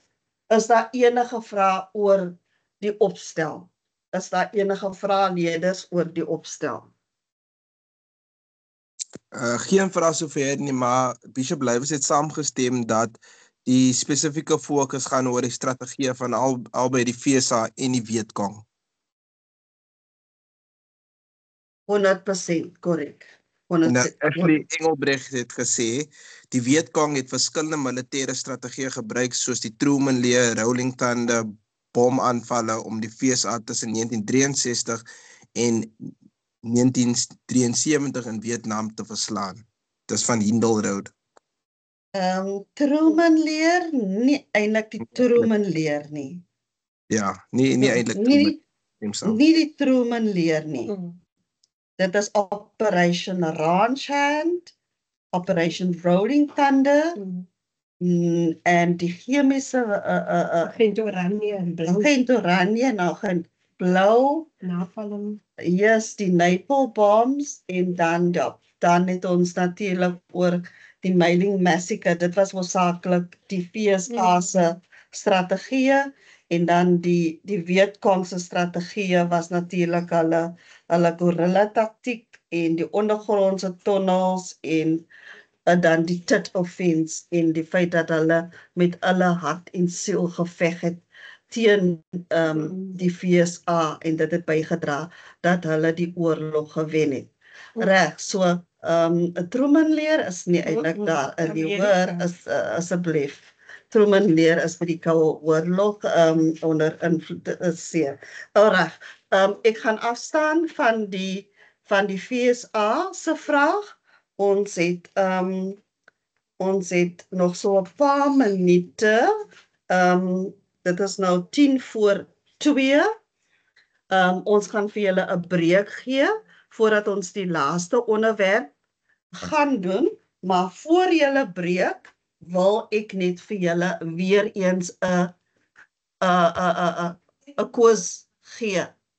Um 'n koers oor um Vietnam. So kry julle 'n uh, fone uit en dan doen julle gou vir my hierdie koers oor Vietnam. Ons het nou redelik baie gepraat oor Vietnam. En hierso is die quiz. Ek sit dit nou. So on can you see can you see the presentation? Again? Yes, the presentation. Yeah, yes. Ah, as mess mute. Hi again, can you see the presentation? Hi juffrou Engel, dit is duidelik. Duidelik. Okay, ons gaan begin. Leerders, as julle almal rustig, sit julle by julle tafel. En ek wil hê julle moet aandagtig luister.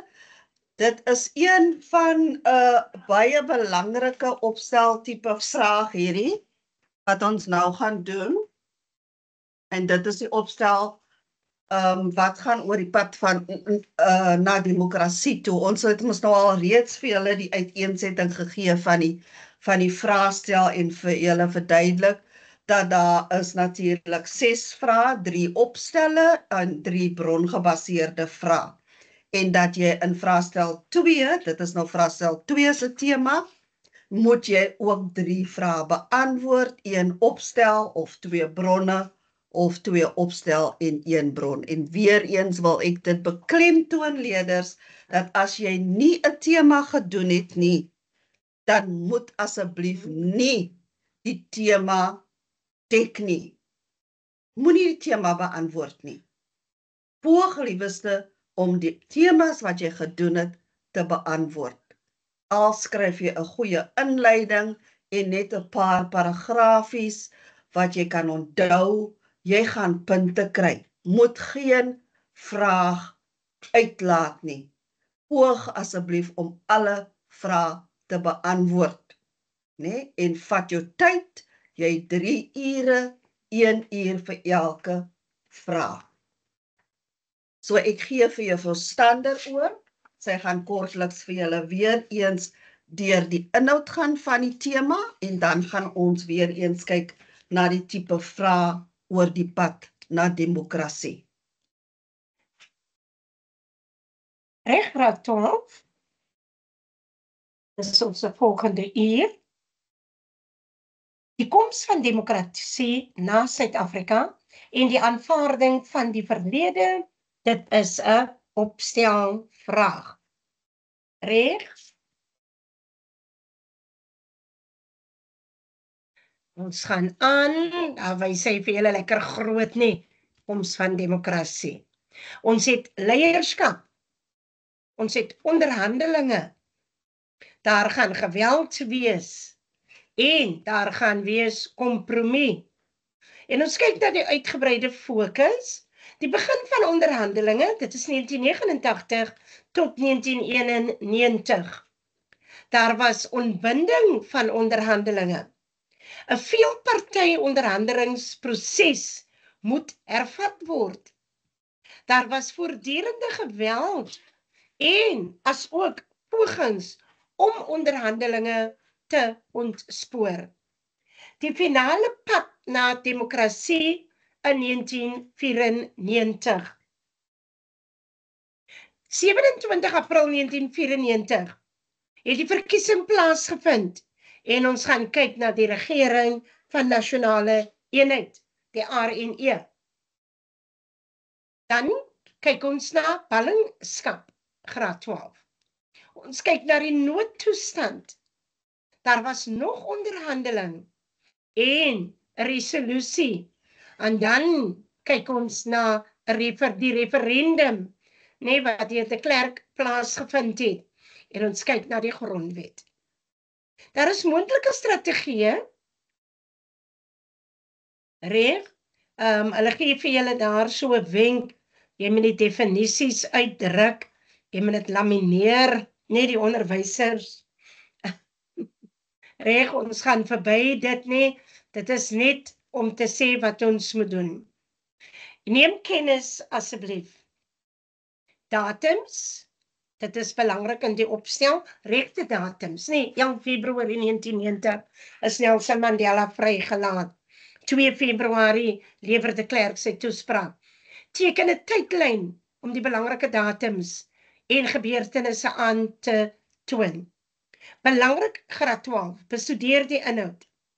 Kry die kronologiese volgorde reg, nê? Nee, jy kan nie die klerk se toespraak hier aan die einde wil gaan neer skryf nie. Bestudeer weer eens jou datums. Jou paragraaf skrywing. Na kontekstualisering van die onderwerpe, begin jy die inhoud. Aan die einde van elke afdeling word 'n paragraaf saam met die leerders geleer. Reg, dit is net om vir die onderwysers te wys dat hulle uh, wat hulle moet doen om vir hulle te help met die paragraaf. Die ANC was verbied vir 30 jaar nodig om die struktuur in Suid-Afrika op te bou. Die NP verloor steun aan die KP en die AWB. Afrikaner weerstandsbeweging. Daar was 'n situasie in die townships graad 12. Daar was armoede, daar was werkloosheid, gewelddadige botsings tussen Inkatha en die ANC ondersteuners van plaas. Daar was selfs 'n vermoede van 'n derde mag, nê, nee, die betrokkeheid van die polisie in die bevordering van geweld. November 1989 Botha, hy was die vorige uh, president of die destydse een. Hy kry 'n ligte beroerte. Hy bedank as president en hy word vervang deur de Klerk. Reg, daar is dit 1990. Meneer de Klerk. Hy beloof 'n drastiese nuwe Suid-Afrika in sy verkiesingsmanifest. Op 2 Februarie 1990 lewer hy 'n toespraak in die parlement waarin hy aankondig belangrik graad 12 ontbanning van die ANC, PAC, SAKP en baie ander verbode burgerlike organisasies. De Klerk sê ook daar gaan bevryding van politieke gevangenes wees, insluitend Nelson Mandela. Die opheffing van die noodtoestand gaan plaasvind en die bullet daaronder Nelson Mandela word na 27 jaar in die tronk vrygelaat. Hy spreek 'n skare van ongeveer 50 000 mense toe vanaf die trappe van die Kaapstad se stadsaal. Die polisie het op 50000 anti-apartheidsbetogers in die township van Sebokeng naby Johannesburg losgebrand en hulle het minstens 14 mense dood en meer as 380 gewond. En daar sê Nelson Mandela, free at last. Reg. Ons gaan na die volgende. Die groot skuur minuut vind plaas op 2 Mei 1990. Die ANC en die NP het in Kaapstad vergader om te onderhandel.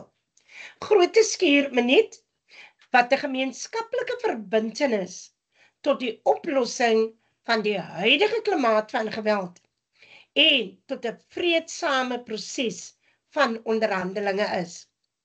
En ewe skielik 'n bom ontplof in die, die in Johannesburg uh, se bus en taxi terminaal en meer as 25 mense word gewond. 'n Ekstreme regse groep genaamd die Wit Wolwe aanvaar verantwoordelikheid. Pretoria minuut.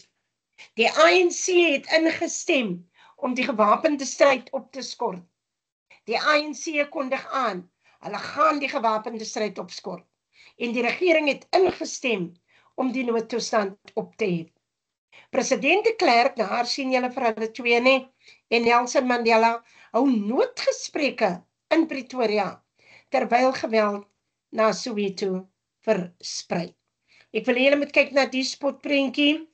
Die Suid-Afrikaanse regering, ANC, IFP, hulle stem saam oor 'n vredes nasionale vredesooreenkoms wat hulle beskryf het as 'n vaste grondslag waarop vrede in Suid-Afrika bereik kan word, né? Daar sien julle ANC en die EFF.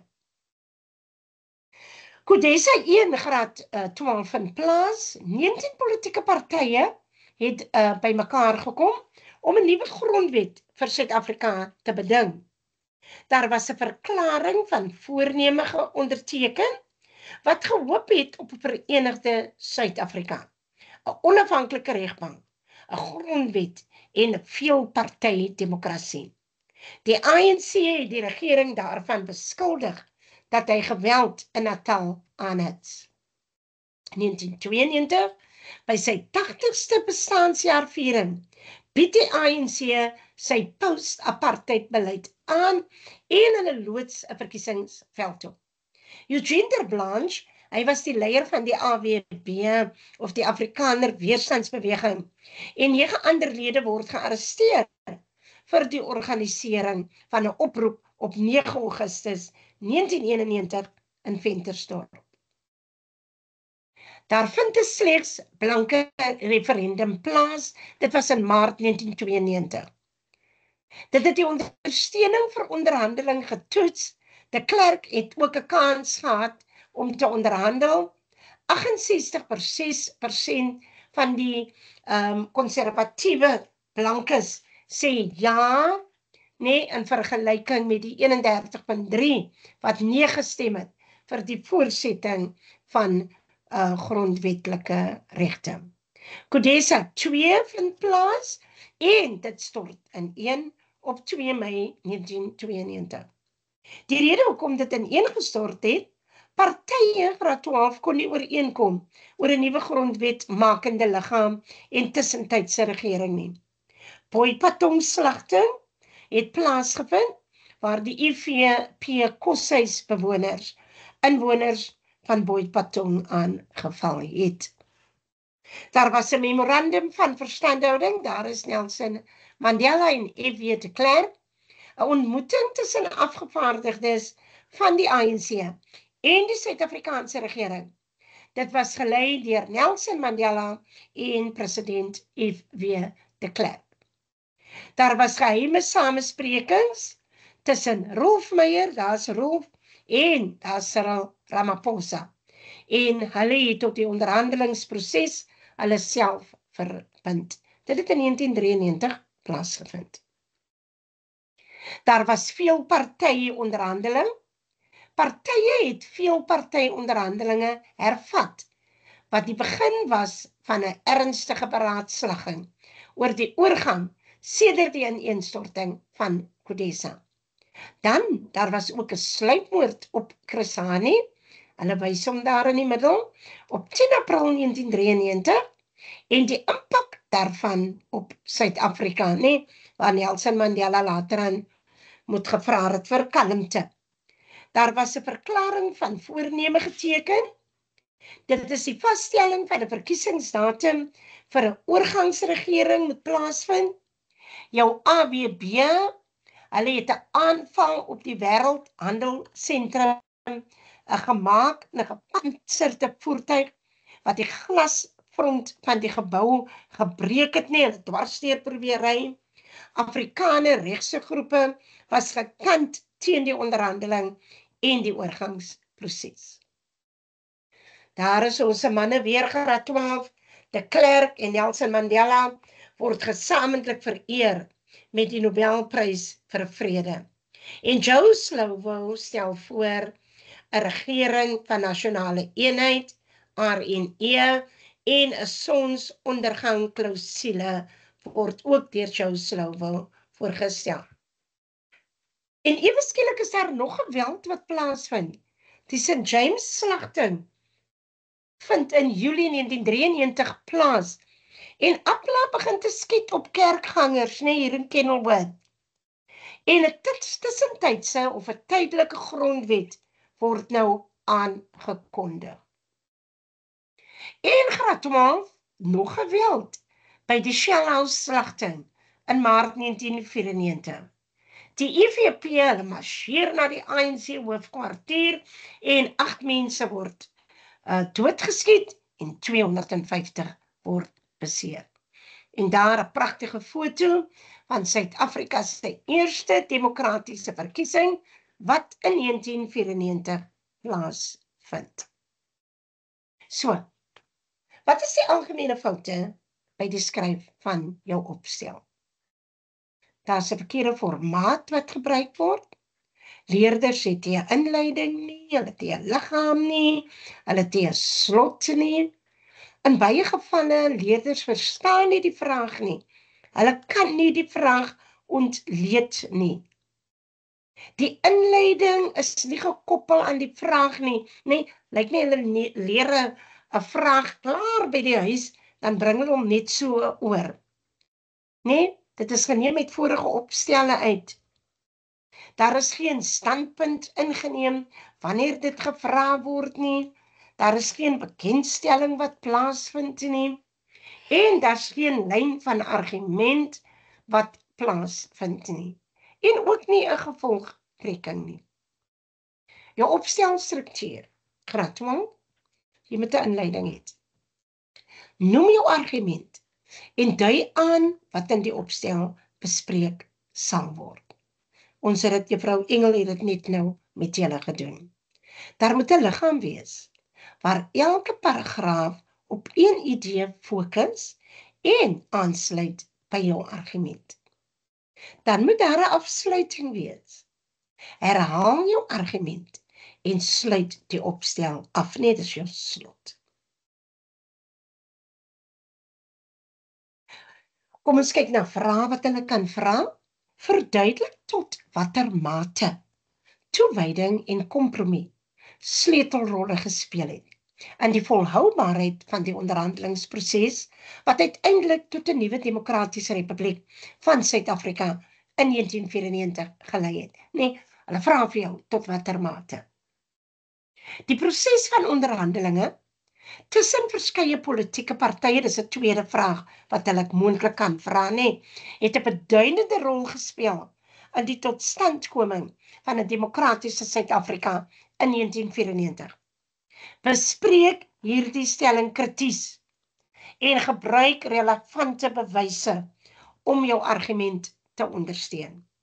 Ons kyk na volgende enetjie. Kyk vir my die eerste enetjie is verduidelik tot watter mate. Tweede enetjie bespreek hierdie stelling krities. Ek is by die donker gedeelte, nê. Dan Nelson Mandela, die vader van die nasie, was eie handig verantwoordelik vir die geboorte van 'n vrye en 'n demokratiese Suid-Afrika. Interessante vraag. Stem jy saam met hierdie stelling? Motiveer jou argument deur relevante bewyse te gebruik. Ons het 'n model opstel of 'n gids. Ons kyk na die inleiding. Dit moet direk met die vraag verband hou.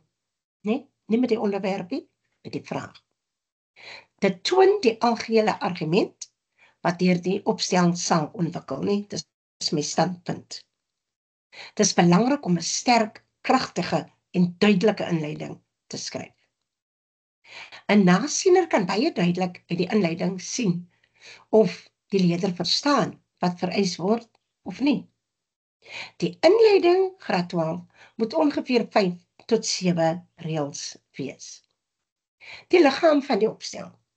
Belangrik, dit moet in paragrawe gestruktureer word. Laat reël oop tussen elke paragraaf. Moenie opskrifte gebruik nie. Die eerste sin van 'n paragraaf sal gewoonlik die hoofkwessie, nê, van daardie paragraaf aandui. Die eerste sin sal gewoonlik die hoofkwessie aandui. Die res van die paragraaf sal dit met bewyse ondersteun. Daar sal verduidelikings wees, daar sal voorbeelde wees. Die laaste sin kan 'n skakel maak na die inhoud van die paragraaf wat daarop volg of terugverwys na die paragraaf. Afsluiting begin met ten slotte of daarom kan 'n mens aflei of so was dit duidelik dat, né? Nee? Hou die afsluiting kort en skakel dit terug na die vraag. Dit sal soortgelyk wees aan die inleiding, né? Nee, niks nuwe inligting moet nou na vore kom nie.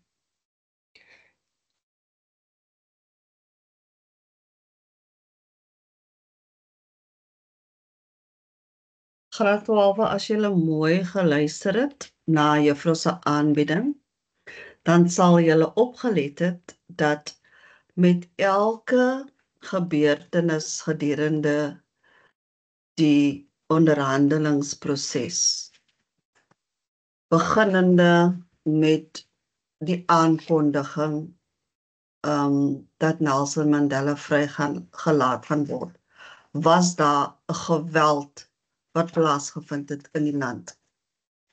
Né? Elke ooreenkoms, elke vergadering was daar in daai spesifieke jaar 'n geweld wat plaasgevind het in 1990 met die groot skeerminuut was daar 'n bomaanval in Johannesburg by die taxi in by Pretoria minuut um by die Kodessa samesprekings was daar byvoorbeeld um mm. ook um in die AVB wat in Ventersdorp ook daar um betogings gehad het of weerstand gebed het Eugene Terplans en dan ook het ons die um Odessa 2 wat in tye gestort het. Reg dan het ons ook natuurlik die die Chris Hani insident die uh AWB wat natuurlik ook die um, panservoertuig panservoertuig. Ja. So daar is deurlopend in die onderhandelingsproses is daar geweld. En dit is belangrik dat jy die twee moet saam kan verduidelik in 'n tydlyn. En as jy dit kan doen, dan kan jy eintlik baie goed vaar in hierdie opstel. Deur net die tydlyn te onthou en dan ook natuurlik te Hmm. fokus op die onderhandelingsproses en die geweld wat in daai selfde jaar gebeur het. En as jy dit kan doen, dan behoort jy baie goed die lyn van argument ook natuurlik te kan deurvoer. Mm. Um as ons kyk na die boekie, um is daar 'n vraag in 'n opstelvraag. Um as ek dit na sê, daar is 'n opstelvraag in juffrou. Um opvoeders, ek wil net hê dat u die res van die boekie met die leerders moet deurgaan want ons kan regtig maar nie nie hierdie hele boekie Mm. deurwerk met met die leerders vandag nie. So ons het vir hulle lekker oefeninge daarin gesit en lekker um tips gegee oor hoe hulle hulle opstel moet benader. En as jy kyk na die die opstelle wat ons in die in die boekie het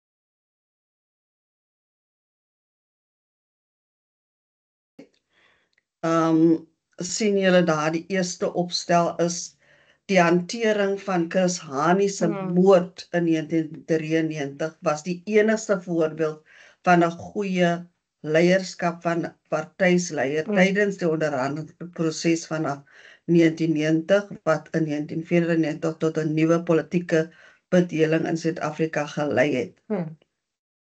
So die hantering van Chris Hani se moord. Dit was nie net Chris Hani se moord, die hantering daarvan nie. Daar was ander aspekte ook. So stem jy saam met die stelling.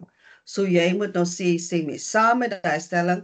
Jy kan sê ja, Chris Hani se se, se moord het 'n bydrae gelewer, maar dit was nie Die die enigste. nie. Hmm. Nee, dit was nie die enigste uh uh insident. Wat uh um gehelp het met die onderhandelingsproses nie. Ja. Dan die volgende vraag. Die pad na demokrasie is gekenmerk deur voortdurende opkoms van geweld en konflik wat nie daarin geslaag het om die eerste demokratiese verkiesing in Suid-Afrika in 1994 te stuit nie. Bespreek hierdie stelling krities. En hier weer eens wil ek beklemtoon, moet jy al twee kante bespreek. Jy moet die onderhandelingsproses Mhm. bespreek en natuurlik die Mhm. ehm um, die geweld wat plaasgevind het, né? Reg. Jy kan nie net net praat oor die geweld nie. Mm. Jy moet praat oor die onderhandelingsproses. Dis hoekom dit belangrik is leerders dat julle moet julle tydlyn stel vir jou 'n tydlyn op en stel vir jou opskrifies op wat het gebeur in daai spesifieke jaar. En as jy daai tydlyn kan onthou, kan jy dan daar rondom jou paragrafies skryf. Dis reg. Die derde vraag verduidelik in watter mate kompromie deur verskillende rolspelers, politieke partye in 'n sleutelkenmerk, 'n sleutelkenmerk gebly het wat die geveg gebaan het vir 'n nuwe politieke bedeling in Suid-Afrika. So tot watter mate beteken dit daar is verskillende rolspelers, so daar's verskillende rolspelers het 'n 'n groot beduidende rol gespeel in die pad na ehm um, Demokrasie. demokrasie. Reg? En daar gee jy vir ons vir julle lekker le- leidrade hoe Mhm. julle julle inleidings moet skryf Mm. en natuurlik hoe julle julle paragrawe ook moet indeel. En julle moet nou verder gaan en dan op julle eie Mm. ook deurwerk en ek vra ook dat alle opvoeders die leerders as die kwartaal nou begin weer net kortliks met hulle deur die die die brongebaseerde vragies werk Dis nee en ek sal die memorandum sal ek dan um by môre vir u stuur sodat u die memorandum dan ook vir die leerders kan afrol. Um as daar enige vrae Mr. Won, is daar enige vrae? Geen vrae nie. Leerders, niemand enige vrae nie? Onderwysers, het julle enige vrae? Ek sê vrou Het u enige vrae wat u wil deel, meneer leerders? Enige iets? Enige iets ehm um, wat u wil deel die waarheids- en versoeningskommissie? Wil juffrou hier ons moet dit Ja, Die vraag is gou, Ja. Wel ons kyk na die Waarheids- en Versoeningskommissie se vragies. Ehm um, ons gee vir julle so 10 minute. Dan lees julle vir ons bron A en onthou die 5 W's wat julle moet eers identifiseer. Wie het dit geskryf? Wanneer was dit geskryf? Waarom is was dit geskryf? En ehm um, en en en en en en wat Mhm. nee die 5 W's en wat en hoekom as jy daai by elke bron kan uh, neerskryf die 5 W's en dat langsaan kan beantwoord nê Mhm. wanneer dit is geskryf um waarom is dit geskryf waaroor gaan dit as jy daai gaan doen dan het jy al klaar vir julle inligting jy het klaar inligting oor Mhm. hoe julle dan julle paragraaf gaan beantwoord. Reg. Reg. So kom ons kyk na die vrae, die kort vragies oor die pad na demokrasie. Dan doen julle vir ons net die eerste 3 vragies oor die pad na demokrasie. Uh, um die Waarheid en Versoeningskommissie. Um vraag 2.1.1 en vraag 2.1.2 en 2.1.3. Ons gee vir julle so 5 minute. En uh, Mr. Hon, kan jy asseblief vir ons net ehm um, die leerders se antwoorde ehm um, kyk wat uh, wie gee eers die antwoord? Eers die antwoorde en vir hulle gaan ons ook 'n prysie gee. Die eerste antwoord kom van Perseverance af. Yay! 19 Geluk. Onthou jou vrou, jy moet dit neerskryf net perseverance. en Mr. Hon sal ook vir ons laat weet wie het die vinnigste die die kwesses gaan beantwoord, nee Mr. Hon? Ja, ja, ja, juffrou. Die- Daar's mos 'n prysie vir daai persoon ook wie die vinnigste die kwes eh, die kwesses beantwoord het. Juffrou, wat gaan ons vir hulle gee? Ek en juffrou Stander sal sal Besluit. sal besluit vir die geskenkie. Miskien moet ons vir hulle spit brei ons hulle almal slag. Slaag. 100%. Mm. Het meneer 'n antwoord? Ja, Dis nog steeds nie perseverance. antwoord. Net perseverance, waar's die ander? Waar's Hindel? Se leerders. Waar's um Symphony? Symphony, waar's Bishop Blywe se leerders? Weer Perseverance vir met 2.1.2. Uh-huh. En Bishop ja. Blywes? Nog geen antwoord nie. O, oh, Bishop Blywes se leerders is skaam vandag. Kollegas, ons gaan vir julle die- hierdie hierdie o- um sessie is is gerekord. So as julle as die sessie klaar is, nê? En jy wil miskien volgende week weer um die sessie speel met die leerders, dan kan jy net weer op die link ingaan en dan sal die recording daar wees, hoor? So ehm um, ek hoef nie vir jou die recording te stuur nie. Jy klik net weer op dieselfde link en dan speel die recording. Wie is daar nog in die sessie meneer? Is dit Perseverance? Is Elswood in die sessie? Uh, Is hulle- is in die Leiden Oh, Leiden. Mhm.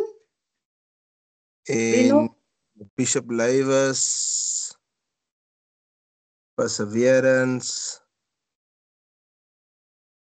Yep. Waar's vir hulle se leerders dan? Hulle was verlede verlede kwartaal aan so oulik antwoorde gegee.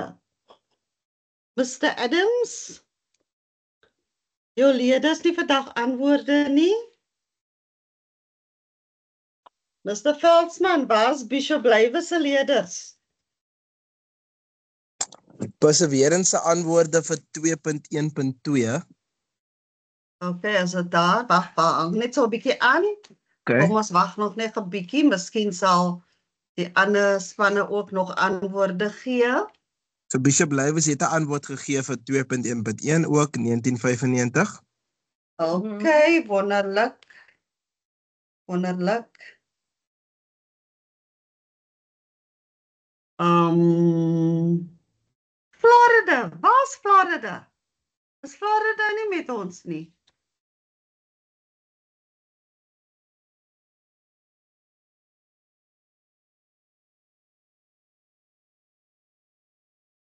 Mr Burger, is julle nie daar nie van Florida?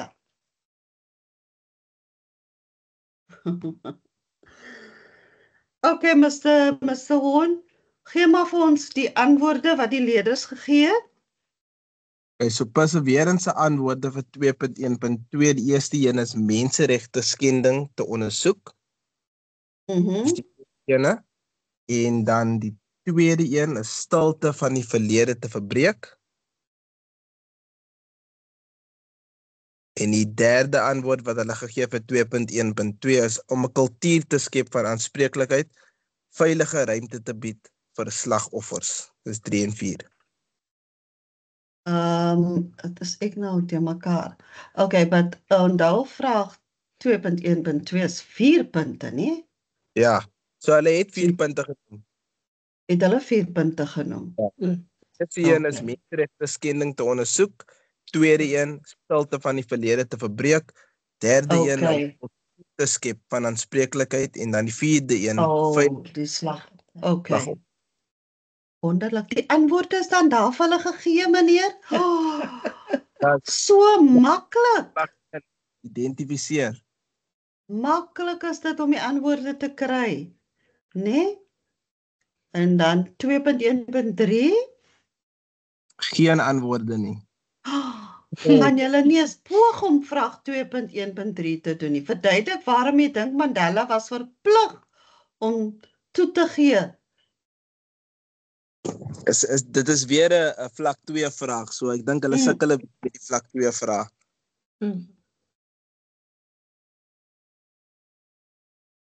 Gaan ons gaan ons wag vir 'n antwoord meneer of moet ons maar vir hulle die antwoord gee? Ek dink ons moet maar vir die antwoord gee want ek sien 'n antwoord hier in die chat nie. Okay.